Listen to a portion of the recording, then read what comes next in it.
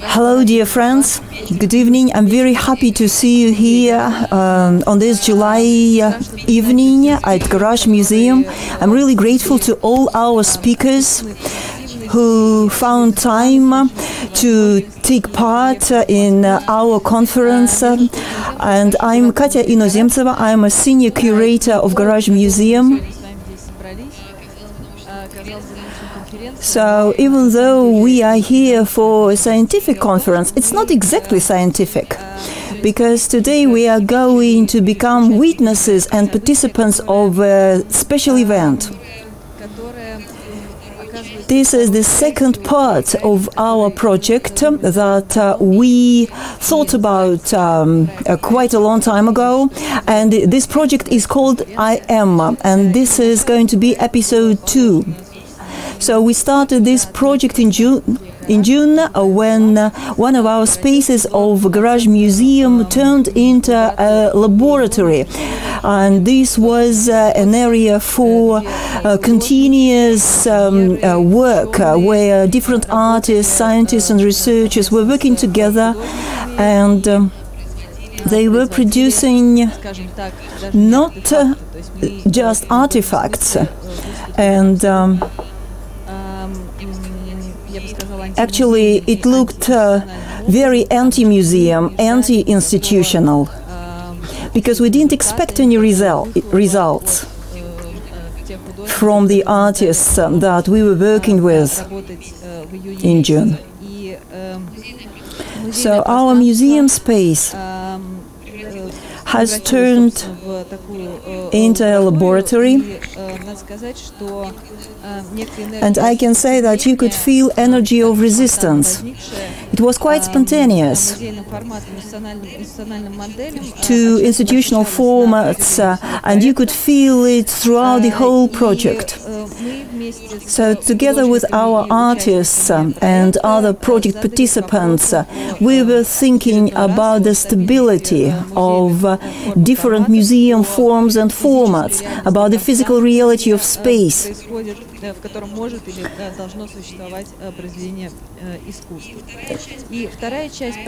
And the second part of our I Am project uh, is uh, going to take place tonight, and it's going to be a series of talks. Um, and um, it's going to be about different subjects, uh, different uh, ideas related to the newest museology and newest media. And uh, some, and it's very interesting to see from the narrative uh, uh, perspectives. and I'm very grateful to all the speakers that agreed to take part in this initiative. So we're going to speak about the future as the idea, as the language that is suitable for um, telling about future. We're going to talk about artificial intelligence, about uh, imagination, aesthetic taste, uh, Kantian ability of thinking. So we are going to discuss how the um, museum exists, uh, not just the Museum of Contemporary Art, but all other kinds of museums. And we're going also to um, touch upon preservation of digital art because it eliminated the category of historical time. And uh, finally, we um, would finish with with its uh, logics, uh, uh, and uh, it was a very interesting formulation. Do you agree to digital immortality? And then on the 19th we are going to open the final episode, episode 3 of this project, and it will be total audio and visual installation of uh, um, Ryoji Ikeda, Japanese musician and mathematician by background, and uh, it's going to take place here as well in the space of our lab. Even though we are tired of traditional museum formats, uh, and that's why we are going to have uh, um, a music performance by Ryoji Ikeda on, on the 18th, and this will be the beginning beginning of this third episode. Actually, he already visited Garage, uh, the old uh, Garage building. So um, Ryoji, uh, together with uh, Pompidou Center, um, uh, prepared this project.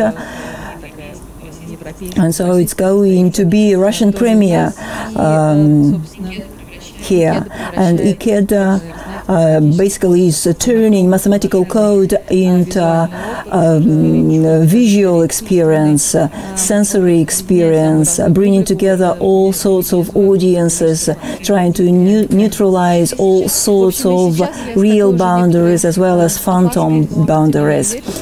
And um, I hope that this uh, three uh, part structure um, would be interesting and you will enjoy uh, today's event. And um, I would like uh, to appeal and refer to new sensitivity with regard to new forms of art in uh, post digital time. So this is my introduction, and I'm happy to introduce the first speaker. Anne Denka Bethke, who is a futurist and sociologist working at Copenhagen Institute for Future Studies. She um, has been working there for five years, and Anna is the leading specialist and speaker of this institute. She coordinates global scanning network project and is part of editing team of um, institute's um, scenario magazine, where she has published uh, uh, many articles. and I would like to um, thank uh, the embassy um, of the Kingdom of Denmark in Moscow uh, who uh, supported us uh, and brought this valuable speaker tonight. Anna, you're welcome.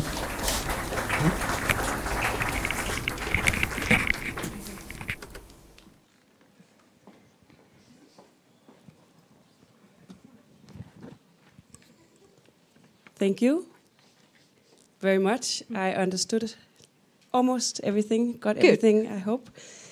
Um, yes, I have been so lucky as I have been asked to talk about the future from maybe a little broader perspective than I usually do.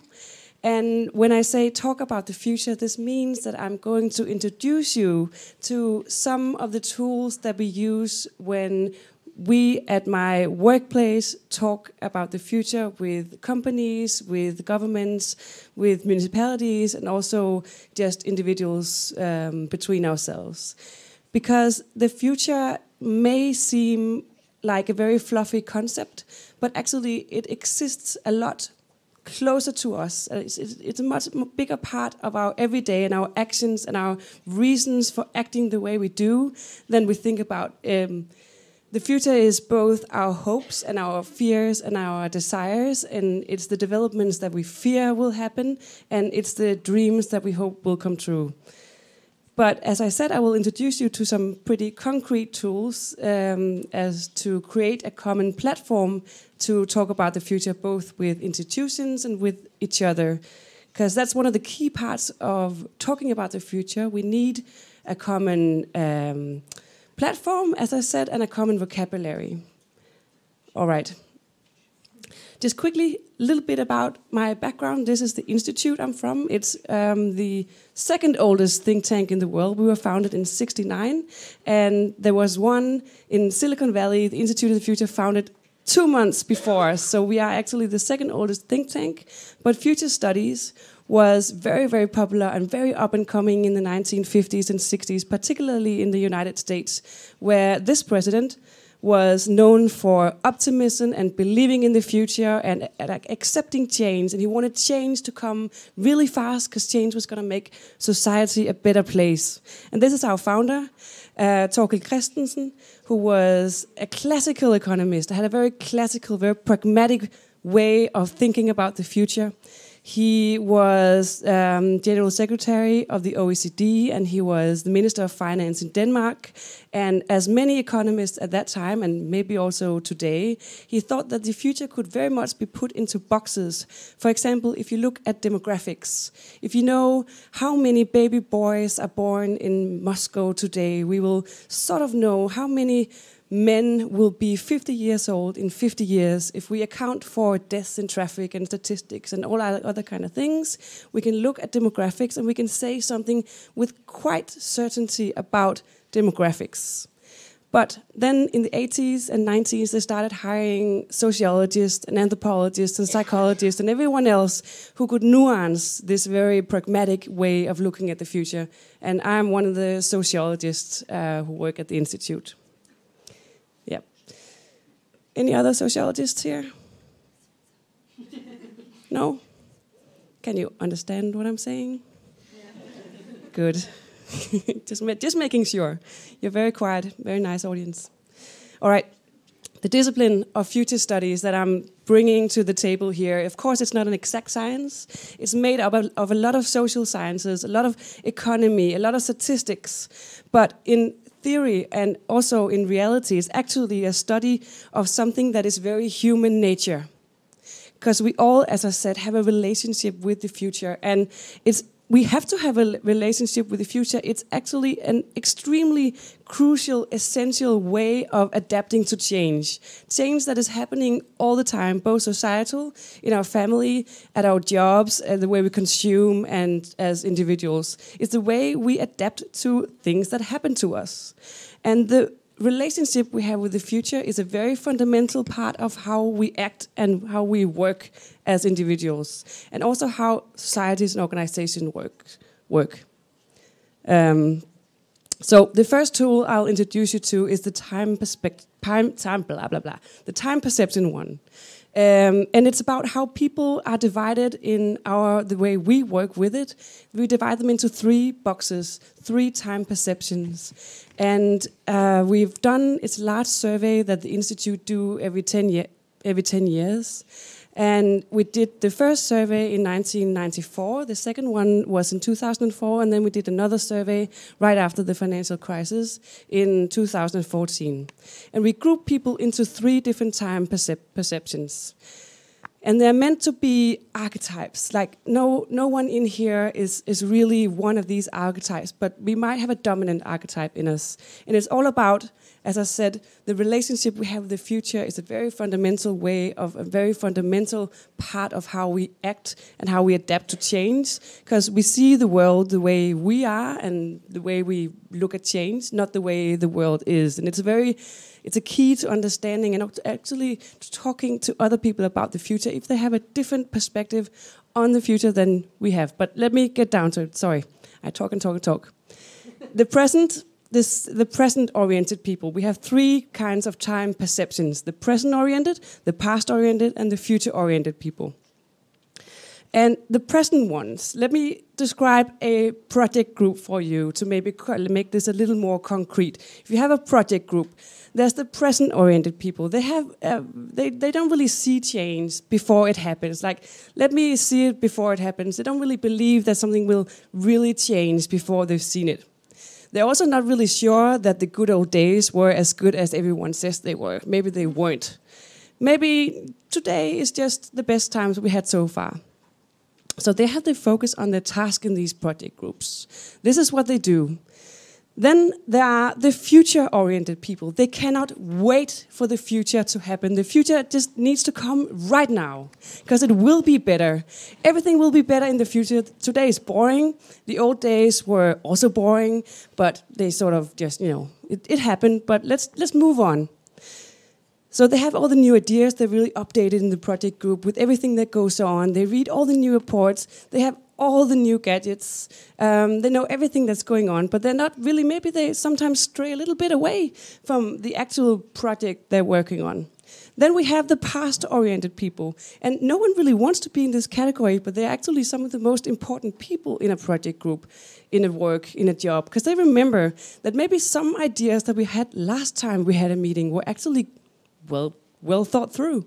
Maybe we should pick those ideas up again. Maybe we should update them and they're actually good enough. So it's not one thing that's better than the other of these time perceptions. We need all of them in society, and we also also have a little bit of all of these time perceptions in us. That's one tool. I have more. If you thought this was boring, if some of you move on, if you're future oriented and just want the next tool, the next tool. All right, this is just a quick cartoon to illustrate the time perceptions, because cartoons are also funny, and this is everyone in this room has probably been on both sides of this table. It says um, the boss here says your proposal is innovative. Unfortunately, we won't be able to use this because we use it because we never tried anything like this before, and it's a very direct way of illustrating uh, time perceptions. This one uh, has all the great ideas, but this one doesn't really want to implement them because we never really tried anything like this before. So these, yeah, that was illustration about why we look at perceptions. All right. So why talking about the future is also a key element of um, my presentation here, because the thing is, we need to be better at adapting to change. And this is what these tools about talking about the future can help us do. And uh, being resilient is a buzzword that's been around in consultancy, in psychology for decades, but it's probably more important than it has ever been because it change happens a little faster than it used to at least it feels like change is happening a little faster than it used to. And resilience, and to be resilient both as an individual and as an institution, means that um, you react to change in a more adaptive way. And you sort of you grab the change, the stress and the pressure and the disruption, and you bounce forward instead of bouncing back or bouncing, not bouncing at all you grab the change and grab the disruption, and you sort of it help help you helps you move forward. Yeah. This is actually one of the things that we work the most with when we work with larger companies. We work with resilience concepts and actually how do we grab these changes that are happening? How do they use the stress and the disruption in their advantage? And they start with future studies, which is the radar. We have these three tools. It's the foresight, they scan and monitor every disruption that they think will happen and will affect their industry, their sector, or their company. They do that with megatrends, which I will introduce in a second. So we make sure they have all of these three tools with them when being in a resilient organization. So you need to scan and you need to be super aware of your surroundings as an organization. Then you need uh, proper risk management. You need to have procedures. You need to be prepared to the different disruptions that are happening to you. That's the shield. Um, the, yes, we have a, one of our directors at the institute used to work in the Pentagon, so he always likes to use military terms for anything he used. So that is why I became the radar, the shield, and the sword. Even for risk management, uh, boring stuff, we try to spice it up with weapons. Um, so the sword is actually one of the most important part of this. Yes, actually, yes. Uh, the sword is one of the most important part of being important parts of being resilient because this is where you're being proactive and you are actually acting before the change is happening. So it's not just about reacting to the change, but being proactive um, towards the change. You can ask me questions about all of these super complicated things after, I will also be around, and I think there's a bit of Q and A after my presentation. You got your picture? Good.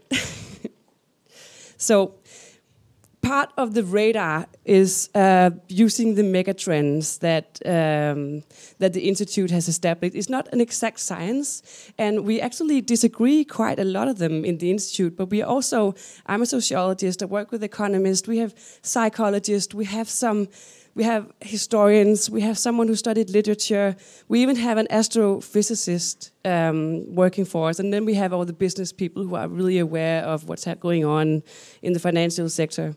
So we don't always agree on all of these megatrends, but we use this set of 14 megatrends to make a really thorough analysis for an industry or a sector. So the thing is with megatrends, to be established as a megatrend, you need to have been, we need to be very, very certain of them. These are actually what we call, instead of megatrends, we can call them certainties and everything else is uncertain. So these are the certainties. These are the things we are very, very sure. These are development we are very sure will continue, and that's what defines a megatrend. So it needs to have been going on for at least 10 to 15 years, which also means it will probably continue for another number of years.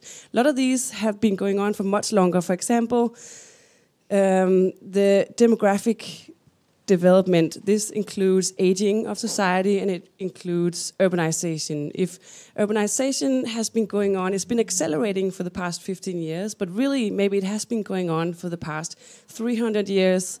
And if I'm if I'm being really cheeky here, maybe urbanization has actually been happening for 10,000 years if we really want to you know look back into time. So we we are very very sure that urbanization will continue that more people will live in urban areas in in 10 years than they did uh, yesterday. So we are very sure even though there are lots of counter trends lots of uh, trends that go the other way we are very sure the megatrends will pull uh, the whole world in their direction.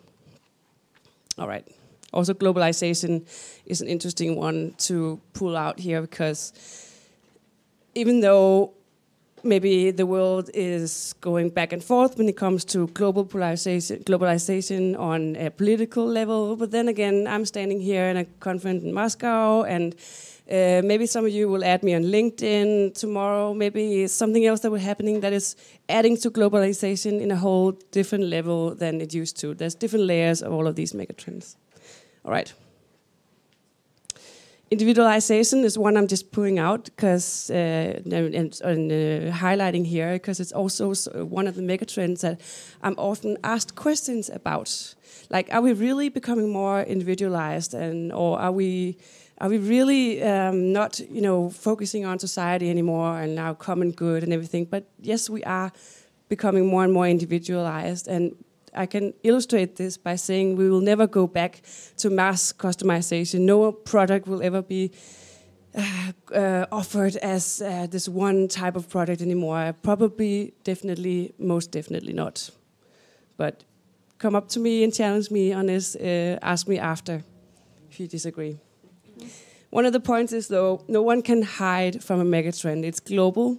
Maybe somewhere it's going faster than others, but the reason why no one can hide from a megatrend is that it's already here.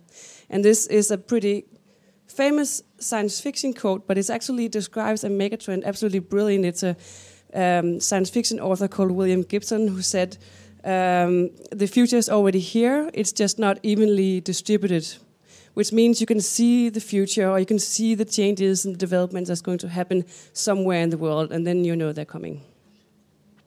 All right.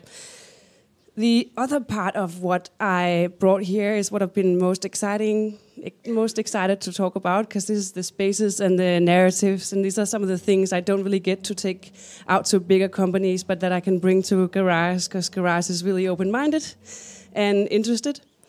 And the thing with spaces and narratives, when talking about the future, is that we should never forget that we actually already have a lot of existing narratives of the future that we are constantly referencing and thinking about when we're talking about the future. We're not as conscious about it as we should be. For example, when we're talking about surveillance, everyone brings up Big Brother or 1984. That's so Big Brother. That's so 1984. So they're bringing up an existing science fiction narrative in order to talk about a specific development. Also, maybe when talking about robots, people people say when talking about robots, people say, oh, it's like the droids from Star Wars, or they reference any kind of robots that they know from science fiction. So they're associating everything they do and what they talk about the future. They have a common platform already, which is the sci fi narratives. All right. Here is a a drawing that I'm always showing because this is one of the spaces and the illustrations of um, of the future that has has one of the most interesting illustrations of the future that I have ever seen. It's actually a real illustration. It's from 1956. It's from an American magazine. When in I'm going back now to when Future Studies was founded in the 50s, and the, you know, people started thinking about the future in this very specific way. There was this magazine. They were also very fascinated by the millennia. Then, by the year 2000, they were extremely fascinated by this everywhere in the world. So a magazine um, asked a lot of uh, city planners, they asked some sociologists, some psychologists, and everyone else they could think of to make an, uh, a description of the typical American family in the year 2000. And uh, maybe take a good look at it, because they got some of the things right. And usually I would ask in the room, what did they get right? Um, but uh, I'm not really sure how it's working with the translation. But the thing they got right was the flat screen televisions. They got the Skyping, maybe, sorry I'm, if I'm blocking some of it. This is Skype or video chat. There's some supersonic laundry. We don't exactly have that, but we have much more efficient laundry machines than they used to have that. We don't have um, escalators in our buildings either. But then they got a lot of things wrong, which is the more interesting question here. What were they able to predict, that's very often the technological developments, because this is very linked to the desires and very linked to what do we want, then we build it. So, what did they get wrong? They got the gender roles completely wrong, at least to some degree. There's mom in the kitchen, grandma setting the table, dad is coming home. Uh, so that's one thing that was really hard to predict. Then there's the, the smoking. The granddad is smoking right next to the grandchild. I'm betting mom she would be very angry today if he did that. And then there's something about the obesity epidemic. and an average American family do not look like this today. So the health trends, the obesity, they couldn't predict. They couldn't predict the change, changing gender roles. Also, if you look outside, the family lives in the countryside, so they couldn't really predict that people would move to the city in the degree that they would. My point being, the social developments or uh, seem much harder to describe and to predict than the technological ones. It is one lesson or something key point that I, wish, that I want, hope you will take with you. There's one example of someone who actually predicted some of the social changes right. Do you know what is this? Good. um, it's a show that very much insisted on predicting some of the societal changes. I'm bringing it up because they have been so right on so many points, and we're not even aware of it. Actually, I've done several. I used this. I use this in presentations, even for very serious big companies, to show that sometimes they can get it right maybe some of you already know this, but there were two pilots on the command bridge. Uh, there was a Japanese and a Russian. And this was mid Cold War. This was 1966 till 69. He was introduced in the second season in 67.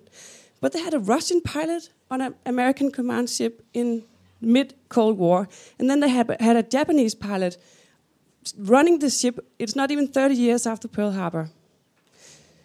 And then they have her, Nichelle Nichols, who played Lieutenant Uhura, a black woman on the command bridge. This was before it was allowed for black and white to marry in the United States. They could marry in some states, but definitely not in all states. She was an actress from musical theater who was actually not particularly interested in playing her role in this like really weird show. It was not very popular back when it was uh, first sent in television. But Martin Luther King himself asked her to please, please stay on the show because your role is so important for the civil rights movement that people can see that a black woman can have a command post. She's a lieutenant on a command bridge in 1960s. Today it's more realistic. It's still a white man who is the captain, which is probably very much as it is today. But they dared and they were criticized. Everyone thought it was super unrealistic. What are they thinking? Um, it'll never be like that, but it's closer to what a command bridge would probably look like today than it did in the 60s. All right, this is the last photo that I have um, of tools, and it's a Danish photo collective, Sarah Peter and Tobias. They are also showing some familiar futures. Yes, I will round it up. I'm so sorry. Um, I just have so much to say about the future. It's um, they take photos of this is called the mukbang. They take photos of social change and sort of helping people to talk about it. It's an exhibition in London that's on right now. So they're photographing so technological development. This is um, the mukbang videos. It's a Korean YouTuber who actually uh, posts and eats her meal in front of 300,000 followers. They don't judge, they just photograph that this is happening. And then there's this robot called the Dreamer, who is from uh, a university in Texas, and it's supposed to be illustrating, and it's it's programmed to react. Maybe some of you will say more about this later, but it's supposed to react to human emotion, and it's supposed to help us understand how technology should react to human emotions, and help us understand how do we want technology to react to human in, human emotion. This is another example of how familiar futures, how science fiction futures, how futures that are not already there are being depicted in art and will help us talk about what developments do we want and which don't we want. So, when talking about the future, I've been trying to introduce you extremely briefly to a few tools. There's the time perception one, that no matter who you talk to, people see the world the way they are and not the world is. And it's probably very different from your own time perception. Then there's the resilience one. We need to talk about the future because we need to talk about the stress and the disruptions that will happen. It will help the adaptation to the disruptions and the change we have some certainties, the things we are absolutely sure of that will happen, or maybe 99% sure will happen, are the megatrends. And then we can already use the existing narratives and the art that is existing and that we're already using when we're talking about the future. We can use that and maybe use it more consciously. All right. That was it. Thank you. Друзья, немножко немножко про I just wanted uh, to mention that uh, if you have questions for Anna, you can ask your questions right now.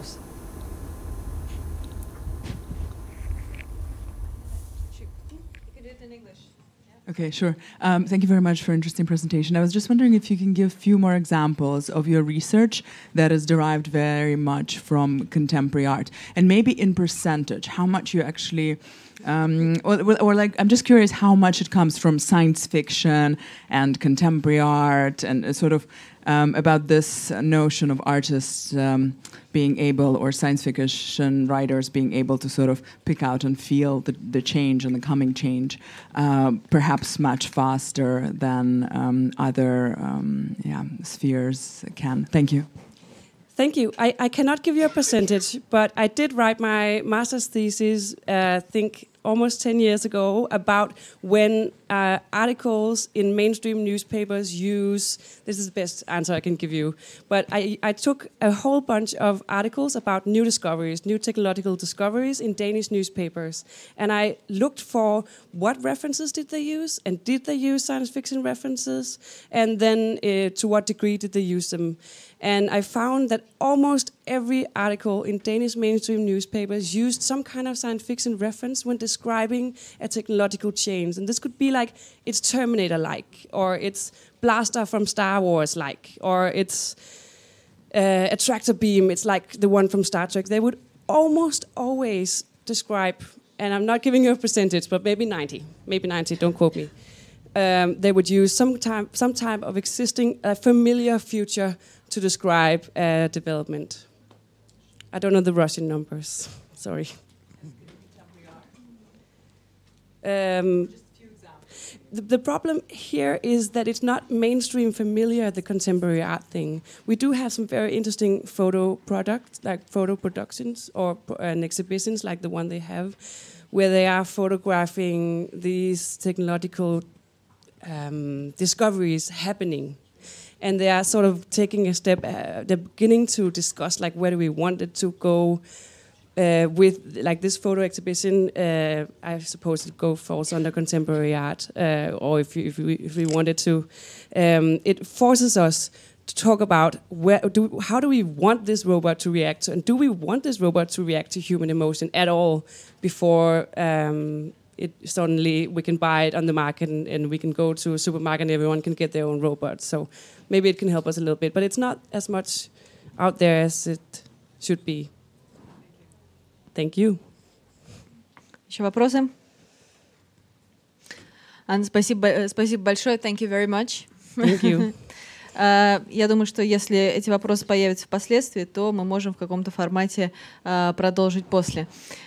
Спасибо за я бы сказала, довольно э, точное, емкое э, определение того, что э, ну, вообще довольно тяжело подается э, артикуляции и э, формулировке.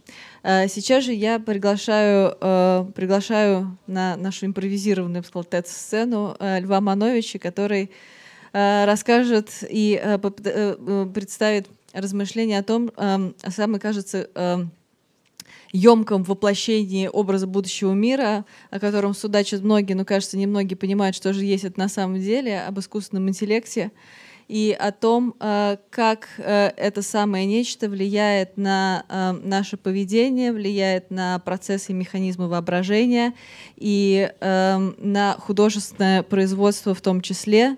Лев Манович, мне кажется, все те, кто находится в этой аудитории, для них не требует специального представления. Тем не менее, упомяну, что Манович — директор Cultural Analytics Lab — доктор компьютерных наук, профессор городского университета Нью-Йорка, Института медиа, архитектуры дизайна «Стрелка», Европейской высшей школы САСФ и приглашенный преподаватель кафедры медиа, культуры и коммуникации Нью-Йоркского университета. Это еще далеко не все. Лев, прошу.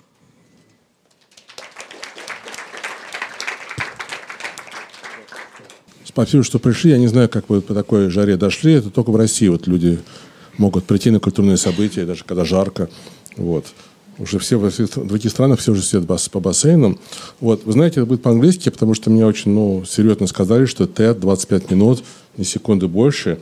Я не могу так говорить долго, красиво по-русски. А, вот. Поэтому я буду читать. Вот. И слайды, вот. и кликер, и секундомер. Вот. Так что, когда 25 минут, просто э, застрелите меня из Калашникова, вот, чтобы больше времени не, не тратил. Хорошо? Так, поехали. Что? А, ну ладно. Хорошо. Так. Окей, поехали. Writing in 1842, Ada Lovelace imagines that in the future, Babbage's analytical engine, i.e., the first general purpose programmable computer, will be able to create complex music. In 1917, Nobel, by famous Russian writer Viktor Pelevin, set in the late 21st century when narrated itself as an algorithm, solving crimes and writing novels about them. Today we exist somewhere between these two visions of cultural AI, artificial intelligence.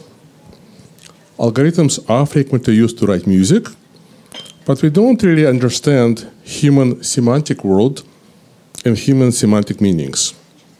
And the way where later will ever happen is not at all obvious. The original vision of AI was about automation of cognition. But today, AI also plays a crucial role in culture, increasingly influencing our aesthetic choices, behaviors, and imagination. For example, it is used to recommend photos, uh, videos, music, and other media, as well as people we should follow on social networks. To automatically beautify selfies and edit user photos to fit norms of good photography, to generate characters in computer games, and so on. Hmm. Left, Vera Molnar, one of the first computer artists, probably the first woman computer artist, untitled Computer Drawing 1971 on the left. On the right, Manfred Mohr, uh, also an early computer artist. Uh, this work is called Random Walk, 1969. The algorithms were used by in artistic creation by selected artists since 1960s, as you can see here. But today, what I would call industrial scale cultural AI is built into devices and services used by billions of people.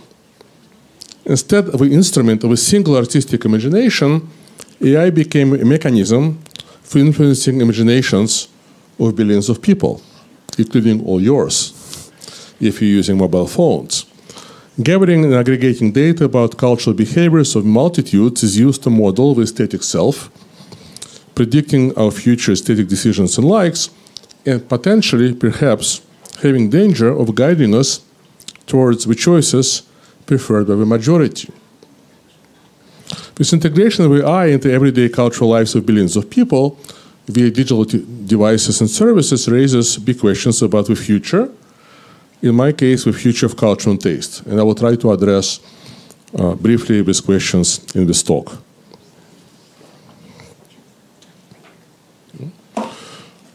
So this is a screenshot of uh, Google Analytics from my own website, manovich.net, and illustrates how AI is even, you know, you, you can encounter it every day.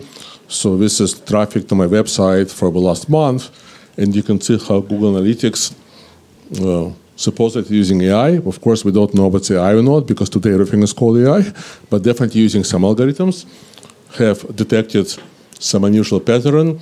And I think the, like it forecasted, right, expected that on June 12, 23rd, uh, the number of page views for this page would be about five, and it was 16, right? And it's doing it, right, to billions of people on every single page. So that's what I mean by industrial scale AI. In the original version of AI in the 50s and 60s, the goal would be to teach a computer to perform a range of cognitive tasks. In this vision, a computer would simulate many operations of a single human mind. They include playing chess, solving mathematical problems, understanding written and spoken language, and recognizing kinds of images. 60 years later, AI became a key instrument of modern economies deployed to make them more efficient, secure, and predictable, for example, automatically analyzing medical images, making decisions on consumer loans, filtering job applications, detecting fraud, and so on. And uh, I think culture and public AI is also seen as an enhancer of everyday life, saving us time and effort. For example, when we use a voice interface on the phone, uh, Alisa, rather than typing. But it's not so easy to answer a question what exactly is AI today? Because the term has been so much hyped in the last five years. Today, computers and phones and other digital devices perform endless seemingly intelligent operations. For example, your phone keyboard gradually adapts to your typing style. Your phone may also monitor your application usage and adjust your work in the background to save battery. There are thousands of such not very glamorous but intelligent operations at work in different parts of IT universe. Therefore, in one sense, AI is now everywhere, and we shouldn't even talk about it. Now, but some AI roles, of course, attract more attention. For example, you know, Google Smart Reply function that suggests automatic email replies. Already last year, it was used in 10% of all email replies for people who use inbox application from Google. But many other roles, as I pointed out, operate in a kind of gray everyday of digital society. So why some intelligent tasks that computers can accomplish are seen as real AI and others are not. Right? So observers and historians of AI field talk about what they call AI effect. So here's a quote about this effect from you know, one of many people who wrote about it. When, when we know how a machine does something intelligent, it it's no longer is regarded as intelligent. In other words, after AI field solves some problem and the solution is implemented in the industry, it's no longer seen as a part of the field. So paradoxically, we tend to only see challenging and not yet solved problems as belonging to AI. Right? So whatever AI, what is AI? Whatever hasn't been solved yet. Right? Uh, and this creates the impression that AI research has not been successful during its long history.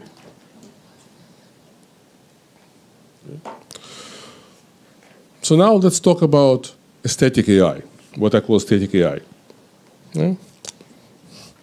So what maybe hasn't been obvious or hasn't been discussed a lot is that AI now already plays equally important role in our cultural lives and behaviors, increasingly automating the process of aesthetic creation. So when we create new cultural artifacts or experiences, and also aesthetic choices. So, um, because maybe you know, like one of my last books was a whole book about Instagram. Like I'm really into digital photography now. I think it's the latest new media. And um, I will start by giving you some examples that I used in photography. Um, and right, so I will get to it with one of the illustrations. So I'll just read some examples which kind of organize in two categories. One is selecting from existing content. So AI helping us to select from a larger database. For example, image sharing services and marketplaces use AI to predict the content of images and assign keywords to them. Instagram Explore screen recommends images and videos to each user based on a combination of many factors. It's not as simple as it will recommend more things you've seen in the past. There are many, many factors at work, including some automatic aesthetic ratings. Yelp, right, automatically selects best photos to illustrate numerous businesses at least, and I'm sorry, but I can see with my list of examples is a bit US-centric, so I promise to correct it in the future. Today I proudly got my Visa card from Sberbank, so I'm in process of versification, so I'll make sure I'll replace all these, all these foreign examples of native ones for next time. Now, okay, so what you see on the screen is another great example. It's a role application from company EyeEm. It happens to be in Brooklyn, but Brooklyn is not really part of America, so it's okay.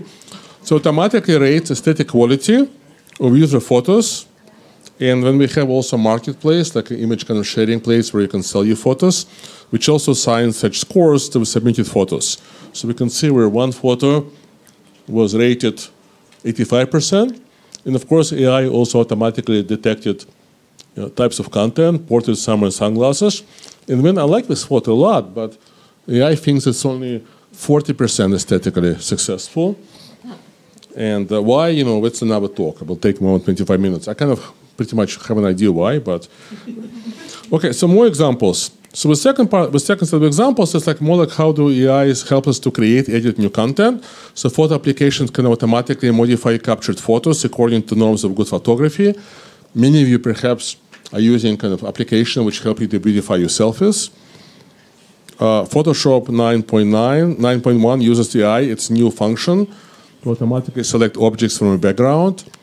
Uh, phone cameras analyze 3D layout of a scene and blur backgrounds in portraits and selfies. And then uh, perhaps the latest in the kind of camera war is development introduced in Huawei Mate 10 phone camera, released in October last year. So it uses AI to analyze all the time what the camera is seeing. Right? So you don't have to press a button. It, the camera is looking at the world, it's constantly analyzing it, and detecting up to like 13 different types of scene. Uh, so whatever it sees, it classifies into one from a number of scenes, scene types. Okay, so here is from a review of this camera. And then it selects appropriate parameters for capturing a given photo. And this is, happens even before you press a button. When you press a button, right, it, it instantly captures a photo because even before you press a button, it already adjusted all the parameters to fit the scene.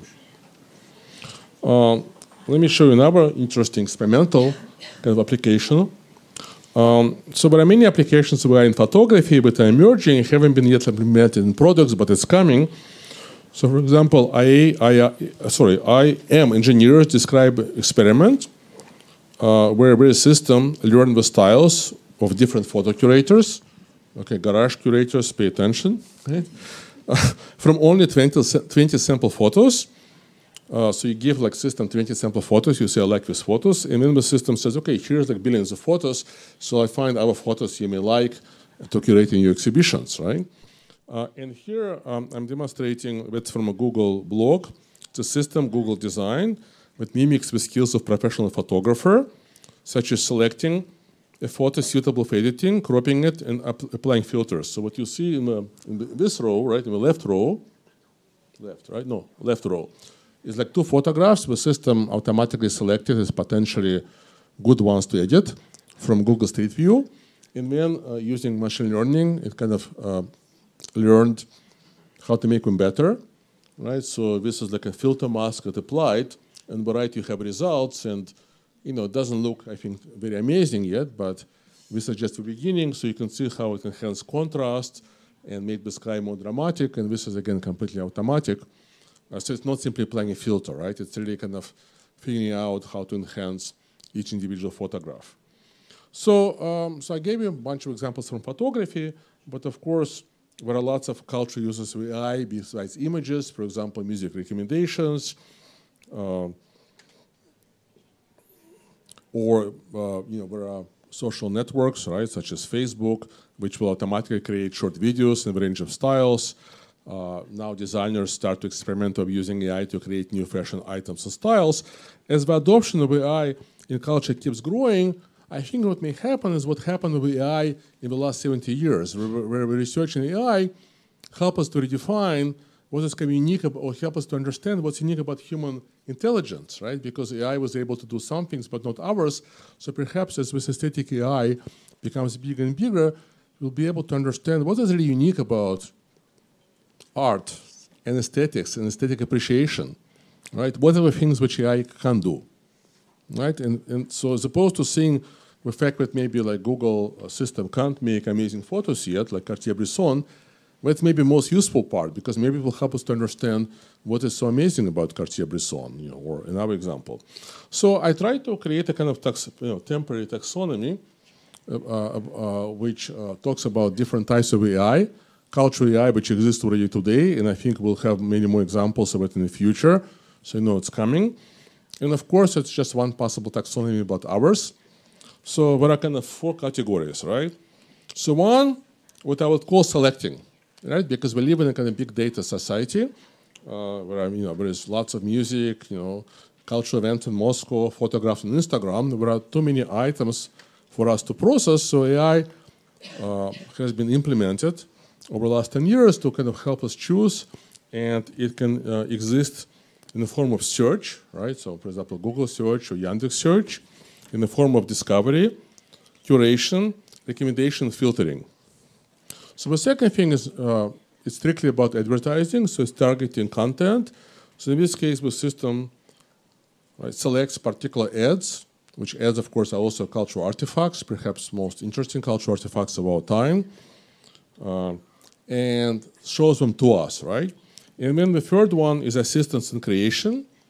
So assistant means the final decisions are still made by human being, uh, but AI helps us. And if we think of AI in a, as a kind of intelligent and biological sense, perhaps we can call this function participation, so AI participates in content creation. And the fourth one is like fully autonomous creation. And I think it's important to realize that this fully autonomous creation already is widely used in culture. For example, AI composes music tracks in a particular style, and I think Sony released at least one album of AI music. Right? AI is used by major uh, newspapers, and news portals to write business and sport news article. AI creates visualizations from given data sets. AI designs websites, generates email responses, and so on. Okay. So one trend which we see in these examples is a movement towards gradual automation, semi-full of human aesthetic decisions. Recommendation engines suggesting what we should watch, listen, read, write, and where, whom we should meet, and what we should, what we should tell them. Devices and services automatically adjust aesthetics of captured media to fit certain criteria. Software rates aesthetic quality of our photos. This development raises big questions about the future of culture, and one question which has been concerning particularly because in a way it fits with earlier questions which people started to ask a lot in the 90s, like what is the cultural effect of globalization, right? Does globalization going to decrease cultural diversity? And there has been many other factors, but now we have a new factor playing into it, which is the integration of AI into cultural products and services. So to me, maybe one of the most interesting questions is does this gradual automation leads to decrease in aesthetic diversity over time? But why? Right? Why we have to be negative about AI? Just because we're like in a garage museum, right? and we read some read some Marxist critical theory from 20th century, right? This is new century. Forget, right? Forget what you read in schools. Uh, so why maybe maybe actually the reality is different. Maybe the automation with AI is going to increase uh, cultural diversity. Now it may sound a bit abstract, so let me illustrate what it means for image culture. So how do we rewrite this question for image culture, a question of cultural diversity? For example, you can ask if automatic enhancements and edits with mobile cameras and photo sharing services apply to user photos make them less diverse aesthetically.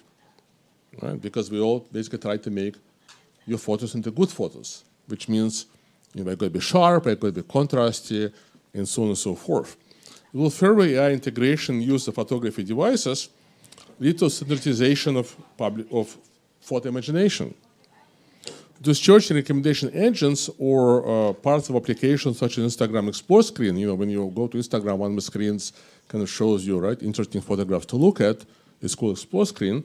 So do these services tend to show the same images or maybe many variations of certain image types with certain content, or maybe only images of certain professional aesthetics, so we're not going to show you bad photos. So in other words, do we show the same types of images to lots of people while diminishing the diversity of what we could have been seen instead? Is it possible to actually make like bad photographs today from a professional point of view? And because lots of lots of great 20th century photography is not sharp, right? It's not contrasty. It's kind of bad from uh, from this point of view. But immediately it's important to think about other forces, our developments, which may counteract this trend and in fact may lead to more diversity. For example, today digital cameras and photo applications also have lots of functions for customizing image aesthetics, more than your camera in the past. On my camera, which in the moment happens to be Fuji E3, I can choose Shutter speed, aperture, ISO, desired levels of highlight and shadow tone, color density, sharpening, grain, dynamic range, noise reduction, film simulation filters, and so on. So I have more choices, right? Free photo editing apps such as Snapseed, right? Used by many people to prepare their photos for Instagram or other networks, also offer a large number of tools which are kind of in a way make it very similar now to Photoshop or Lightroom. Over time, the trend is that phone cameras and photo editing apps have been adding more and more controls, and lots of these apps are now free. Therefore, while gradual AI integration into phone cameras and sharing sites may contribute to decrease in aesthetic diversity, the gradual addition of more and more controls to cameras and photo apps may have an opposite effect. Um, let's see, how much time do I have left, if anything? Zero? Huh? Oh my God, that's great. Okay, uh, let's. Uh, okay, let me actually. That's fine. Like I've done about seventy percent of the paper. You know, you can read it online. Uh, I can tell you a beer. So let me show you. Let me show you kind of slides now. Okay. oh, this was supposed to illustrate something. Doesn't matter. So, um, so the interesting question is right. So when we talk about AI and agricultural and social economic forces, contributing to increase or decrease in aesthetic diversity, well, can we actually measure this, right? Can we measure the amount of aesthetic uh, diversity in uh, certain forms of digital culture, be it photography or maybe in non-digital culture such as fashion? And uh, how would we do it? Well, it so happens that uh, for the last uh, 12 years, hundreds of thousands of computer and social scientists have been quantitatively analyzing massive samples of contemporary digital culture and asking not exactly this question, but basically measuring right, various parameters, features, and changes in digital culture, including looking at billions of posts and user interactions on Facebook, Twitter, Instagram, Flickr, Pinterest, etc., etc., Yelp, creative networks such as Behance, and so on. They develop many quantitative measures that describe or attempt to some aspects of culture, such as, for example, describing structure of sharing and social networks mathematically, or even describing, again, mathematically, uniqueness and originality of images in an image database. Right? So, for example, right, when you look at like, you know, like Instagram, you say, oh, this image is really unique. Right? I haven't seen it before. Obviously, your brain is making some right judgments. Well, it is possible, in fact, to develop algorithms which will do something like that, perhaps. So within this paradigm, we can also propose some measures of aesthetic diversity and apply them to some cultural areas and types of media. And because we now have large records of user media going back to at least 2004, right? For example, in 2014, Flickr released a data set of 100 million uh, public photographs with Creative Commons license, which was covering 10 years. And with Instagram, we can go back to 2010, right? We can actually ask this kind of very precise questions and track them over, uh, over the last 13 years. So uh, among all these papers, I only found one which directly was talking about diversity. So it's this paper uh, written by kind of computer scientists and musicians and published in 2015. And what we've done uh, is we basically analyze changes in diversity of uh, music, looking at kind of popular music in America, you know, over a few decades. And uh, yeah, you don't have to read with small type, but basically we said, well, we can measure diversity in like different ways. So here are four different measurements looking at four different things. And you know, according to some measures, the diversity is increasing or decreasing. But I think what's interesting is you get this very kind of gradual changes, right? So obviously there's something where which you can measure, and this is something which is changing gradually. So uh, I will just very briefly uh, say this, right? So when we're thinking about how to measure diversity, so we can understand, you know, how AI is going to affect society, of course, we have also talked about different types of diversity. So for example, we can talk about diversity of content, which is subjects, techniques, and aesthetics in the case of photos. So what is the diversity of photos people create and share on Instagram today in Moscow versus, for example, last year? Uh, and we can look at this in a cultural field or in a network such as Instagram or geographic area like Moscow versus St. Petersburg and so on. But we can also look at diversity in user choices, right? In how users, what users kind of uh, buy and how we use this culture, right? So for example, uh, just to kind of give you one example, contemporary fashion designers around the world may be creating items that can have very diverse styles, silhouettes, forms, volumes, materials, textures, and colors. But the diversity of items being purchased and worn by people worldwide may be much smaller, right? So there may be like million, right, 10,000 different uh, kind of fashion styles available in Moscow, but maybe people only can use, you know, 10%. Um, so I will just sit, literally take like one minute, two minutes, 90 seconds, just to show you very briefly some examples, very, very simple examples of kind of visualizing diversity in uh, visual data sets uh, from my lab. I mean, we have published also some like scientific papers in top scientific journals. So probably some of you have went to special mathematics school like me, right? Uh, not only to art school, so you can read them, right? Um, but here are some examples. So this is maybe you know this project we did about uh, comparing selfies, right? So we, we made this database of selfies, and you can select selfies, right, in uh, using different parameters. So here, for example, a graph. Uh, so what's been plotted are the head sizes in uh, hundreds of selfies in different cities, and I haven't really measured them, but I think it's kind of obvious. But in this case, I think Moscow probably has more diversity, right? Because for other for other cities, right? So there are very few photographs of like like very big heads. There are very few photographs of very small heads. So mostly you have this Gaussian distribution. But Moscow, this is probably all the girls showing very beautiful figures, right? Sorry for this sexist comment, but that's probably like my research hypothesis, right? so anyway, but it makes them more diverse, right? Uh, and then this is like a kind of work my students, you know, my students do, right? So this is uh, students started to collect paintings from uh, a number of impressionist artists, and then measured average saturation, average hue, and simply plotted these paintings. And it's interesting to see that with impressionist artists, you know, because we probably all lived in Paris, and then we all went to the same kind of uh, you know, Baravicha type place in the summer, right? We're all operating in the same color space, you know, but um, with not over paintings. So you can also from this probably visually say, you know, that in fact where color diversity, like the kind of colors in the paintings are similar, but uh, this is not the final one. And then this is the last example. Again, this is all like old work. This is from 2010. This is one million uh, pages from manga books we have analyzed and rendered using software I wrote, and they rendered in such a way that as you move around the space, you kind of see different styles.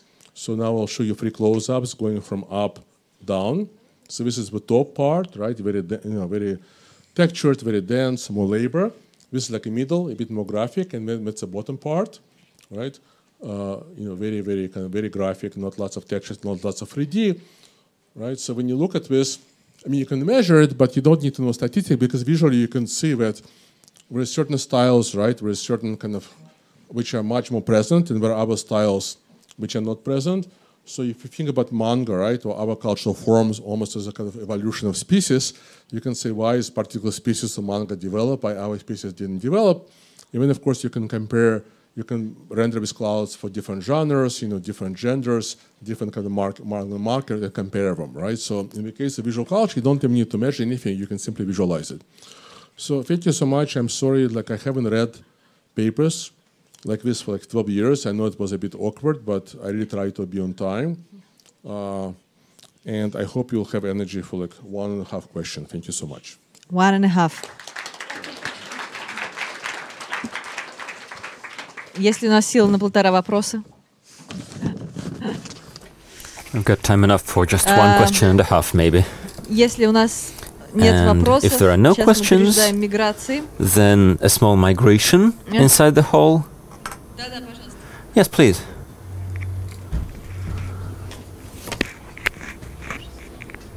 Позвольте, Сиди, по- я хотел у вас уточнить в вашем докладе искусственный Could you explain интеллект, a bit он more э, in your способствует, presentation, э, вот, the э, AI, разнообразию? does Или it всё-таки, на ваш really взгляд, promote он его, diversity, ну, до определенного or уровня доводит? to your mind it uh, just uh, makes it more uniform and uh, levels it to a certain degree? Проблема, да, то есть от меня Yes, you know, this is a он problem. сам всё- Он все скажет, он все объяснит. Uh, people expect me to give a direct answer, and I usually reply that I need to measure things and then provide the answers, and sometimes I uh, defy the expectations in not providing the answer. Purely intuitively, speculatively, I think that if we consider a specific part of the visual culture, let's say the Instagram posts or some other services, or no, let's start all over. You know, I am for measuring, I'm all for measuring things. And I read once a paper uh, which correlated the effect of comments on YouTube and diversity and recommendations. So, what people watch on YouTube without recommendations versus what they watch with recommendations. And the conclusion was that recommendations promote diversity. You watch more diverse videos with recommendations. It worked at that year and it worked on YouTube. And that's it. I cannot generalize it more. But it's really positive because it means that recommendation systems do show us things that we would not have looked upon without them. That's one positive result that I have. Otherwise, yes, we need to look into it further. And you know, I skipped one point today that uh, the role of AI in culture is not very big. There are many more important factors. When the, a COS uh, shop opens in Moscow, then the diversity will grow. The presence of the internet, the presence of certain stores is important for creators. But yes, AI will play a bigger role in diversity in the future. Maybe we'll all need some degrees in computer science. I am not a specialist in computer science, but uh, I am now a professor of computer science, so it becomes more important. Thank you. Yes, we're all for costs. Why do we need to pay more than 100 bucks for clothing? Only fools would do this. That's it? Yes, thank you very much. Oh, yeah, half a question coming. And I'll give half an answer.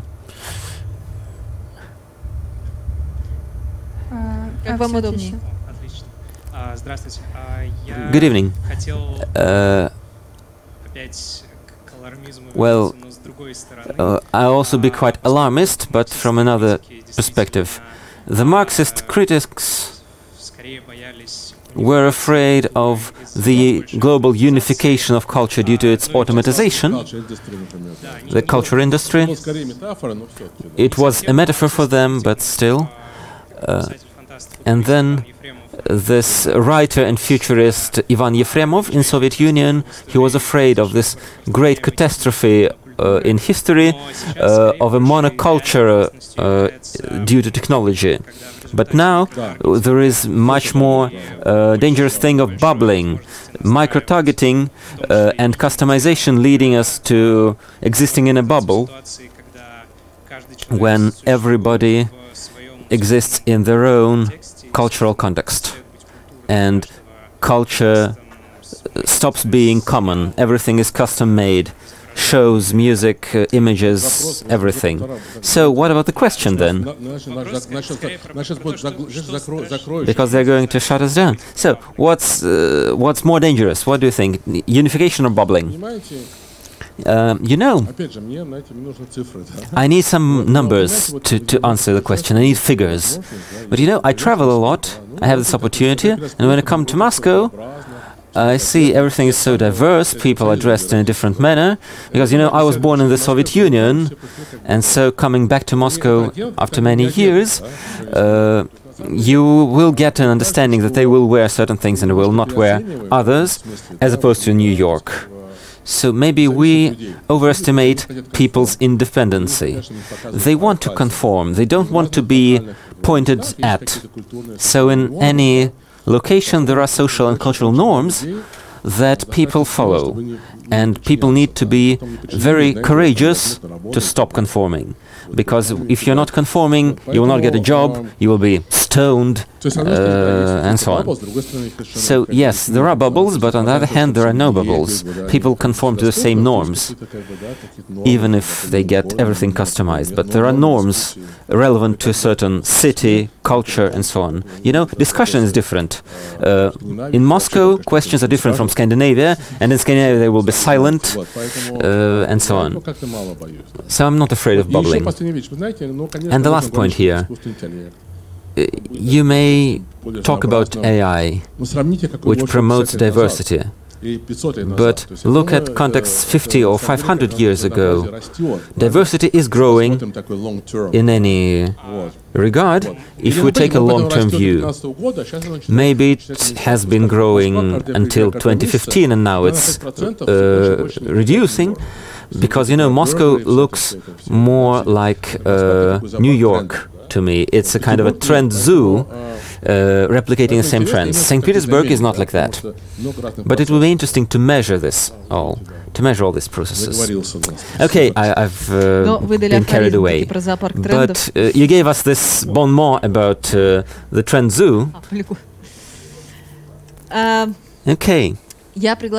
And now I'd like to pass the word to the next participant нашей, э, of the конференции, conference. Влада Струкова, который Струков. наконец э, поговорит о At том, last, чем мы he's going занимались, to и попытается talk осмыслить, помочь to us нам в about том things we числе, have been doing осмыслить то, чем мы and занимались to help э, us первую часть consider проекта э, things we АМ, did during the first part э, of the IAM размышляя project. о том, э, каким должен быть He's музей, going если to это вообще talk to us музей, about э, uh, как меняются выставочные how форматы, museums should look, институциональные how модели, exhibition formats uh, and institutional models are changing, what are digital media, and so on, how they change the relationship between the museum and the viewer, the changes in competences of the viewers, of the visitors.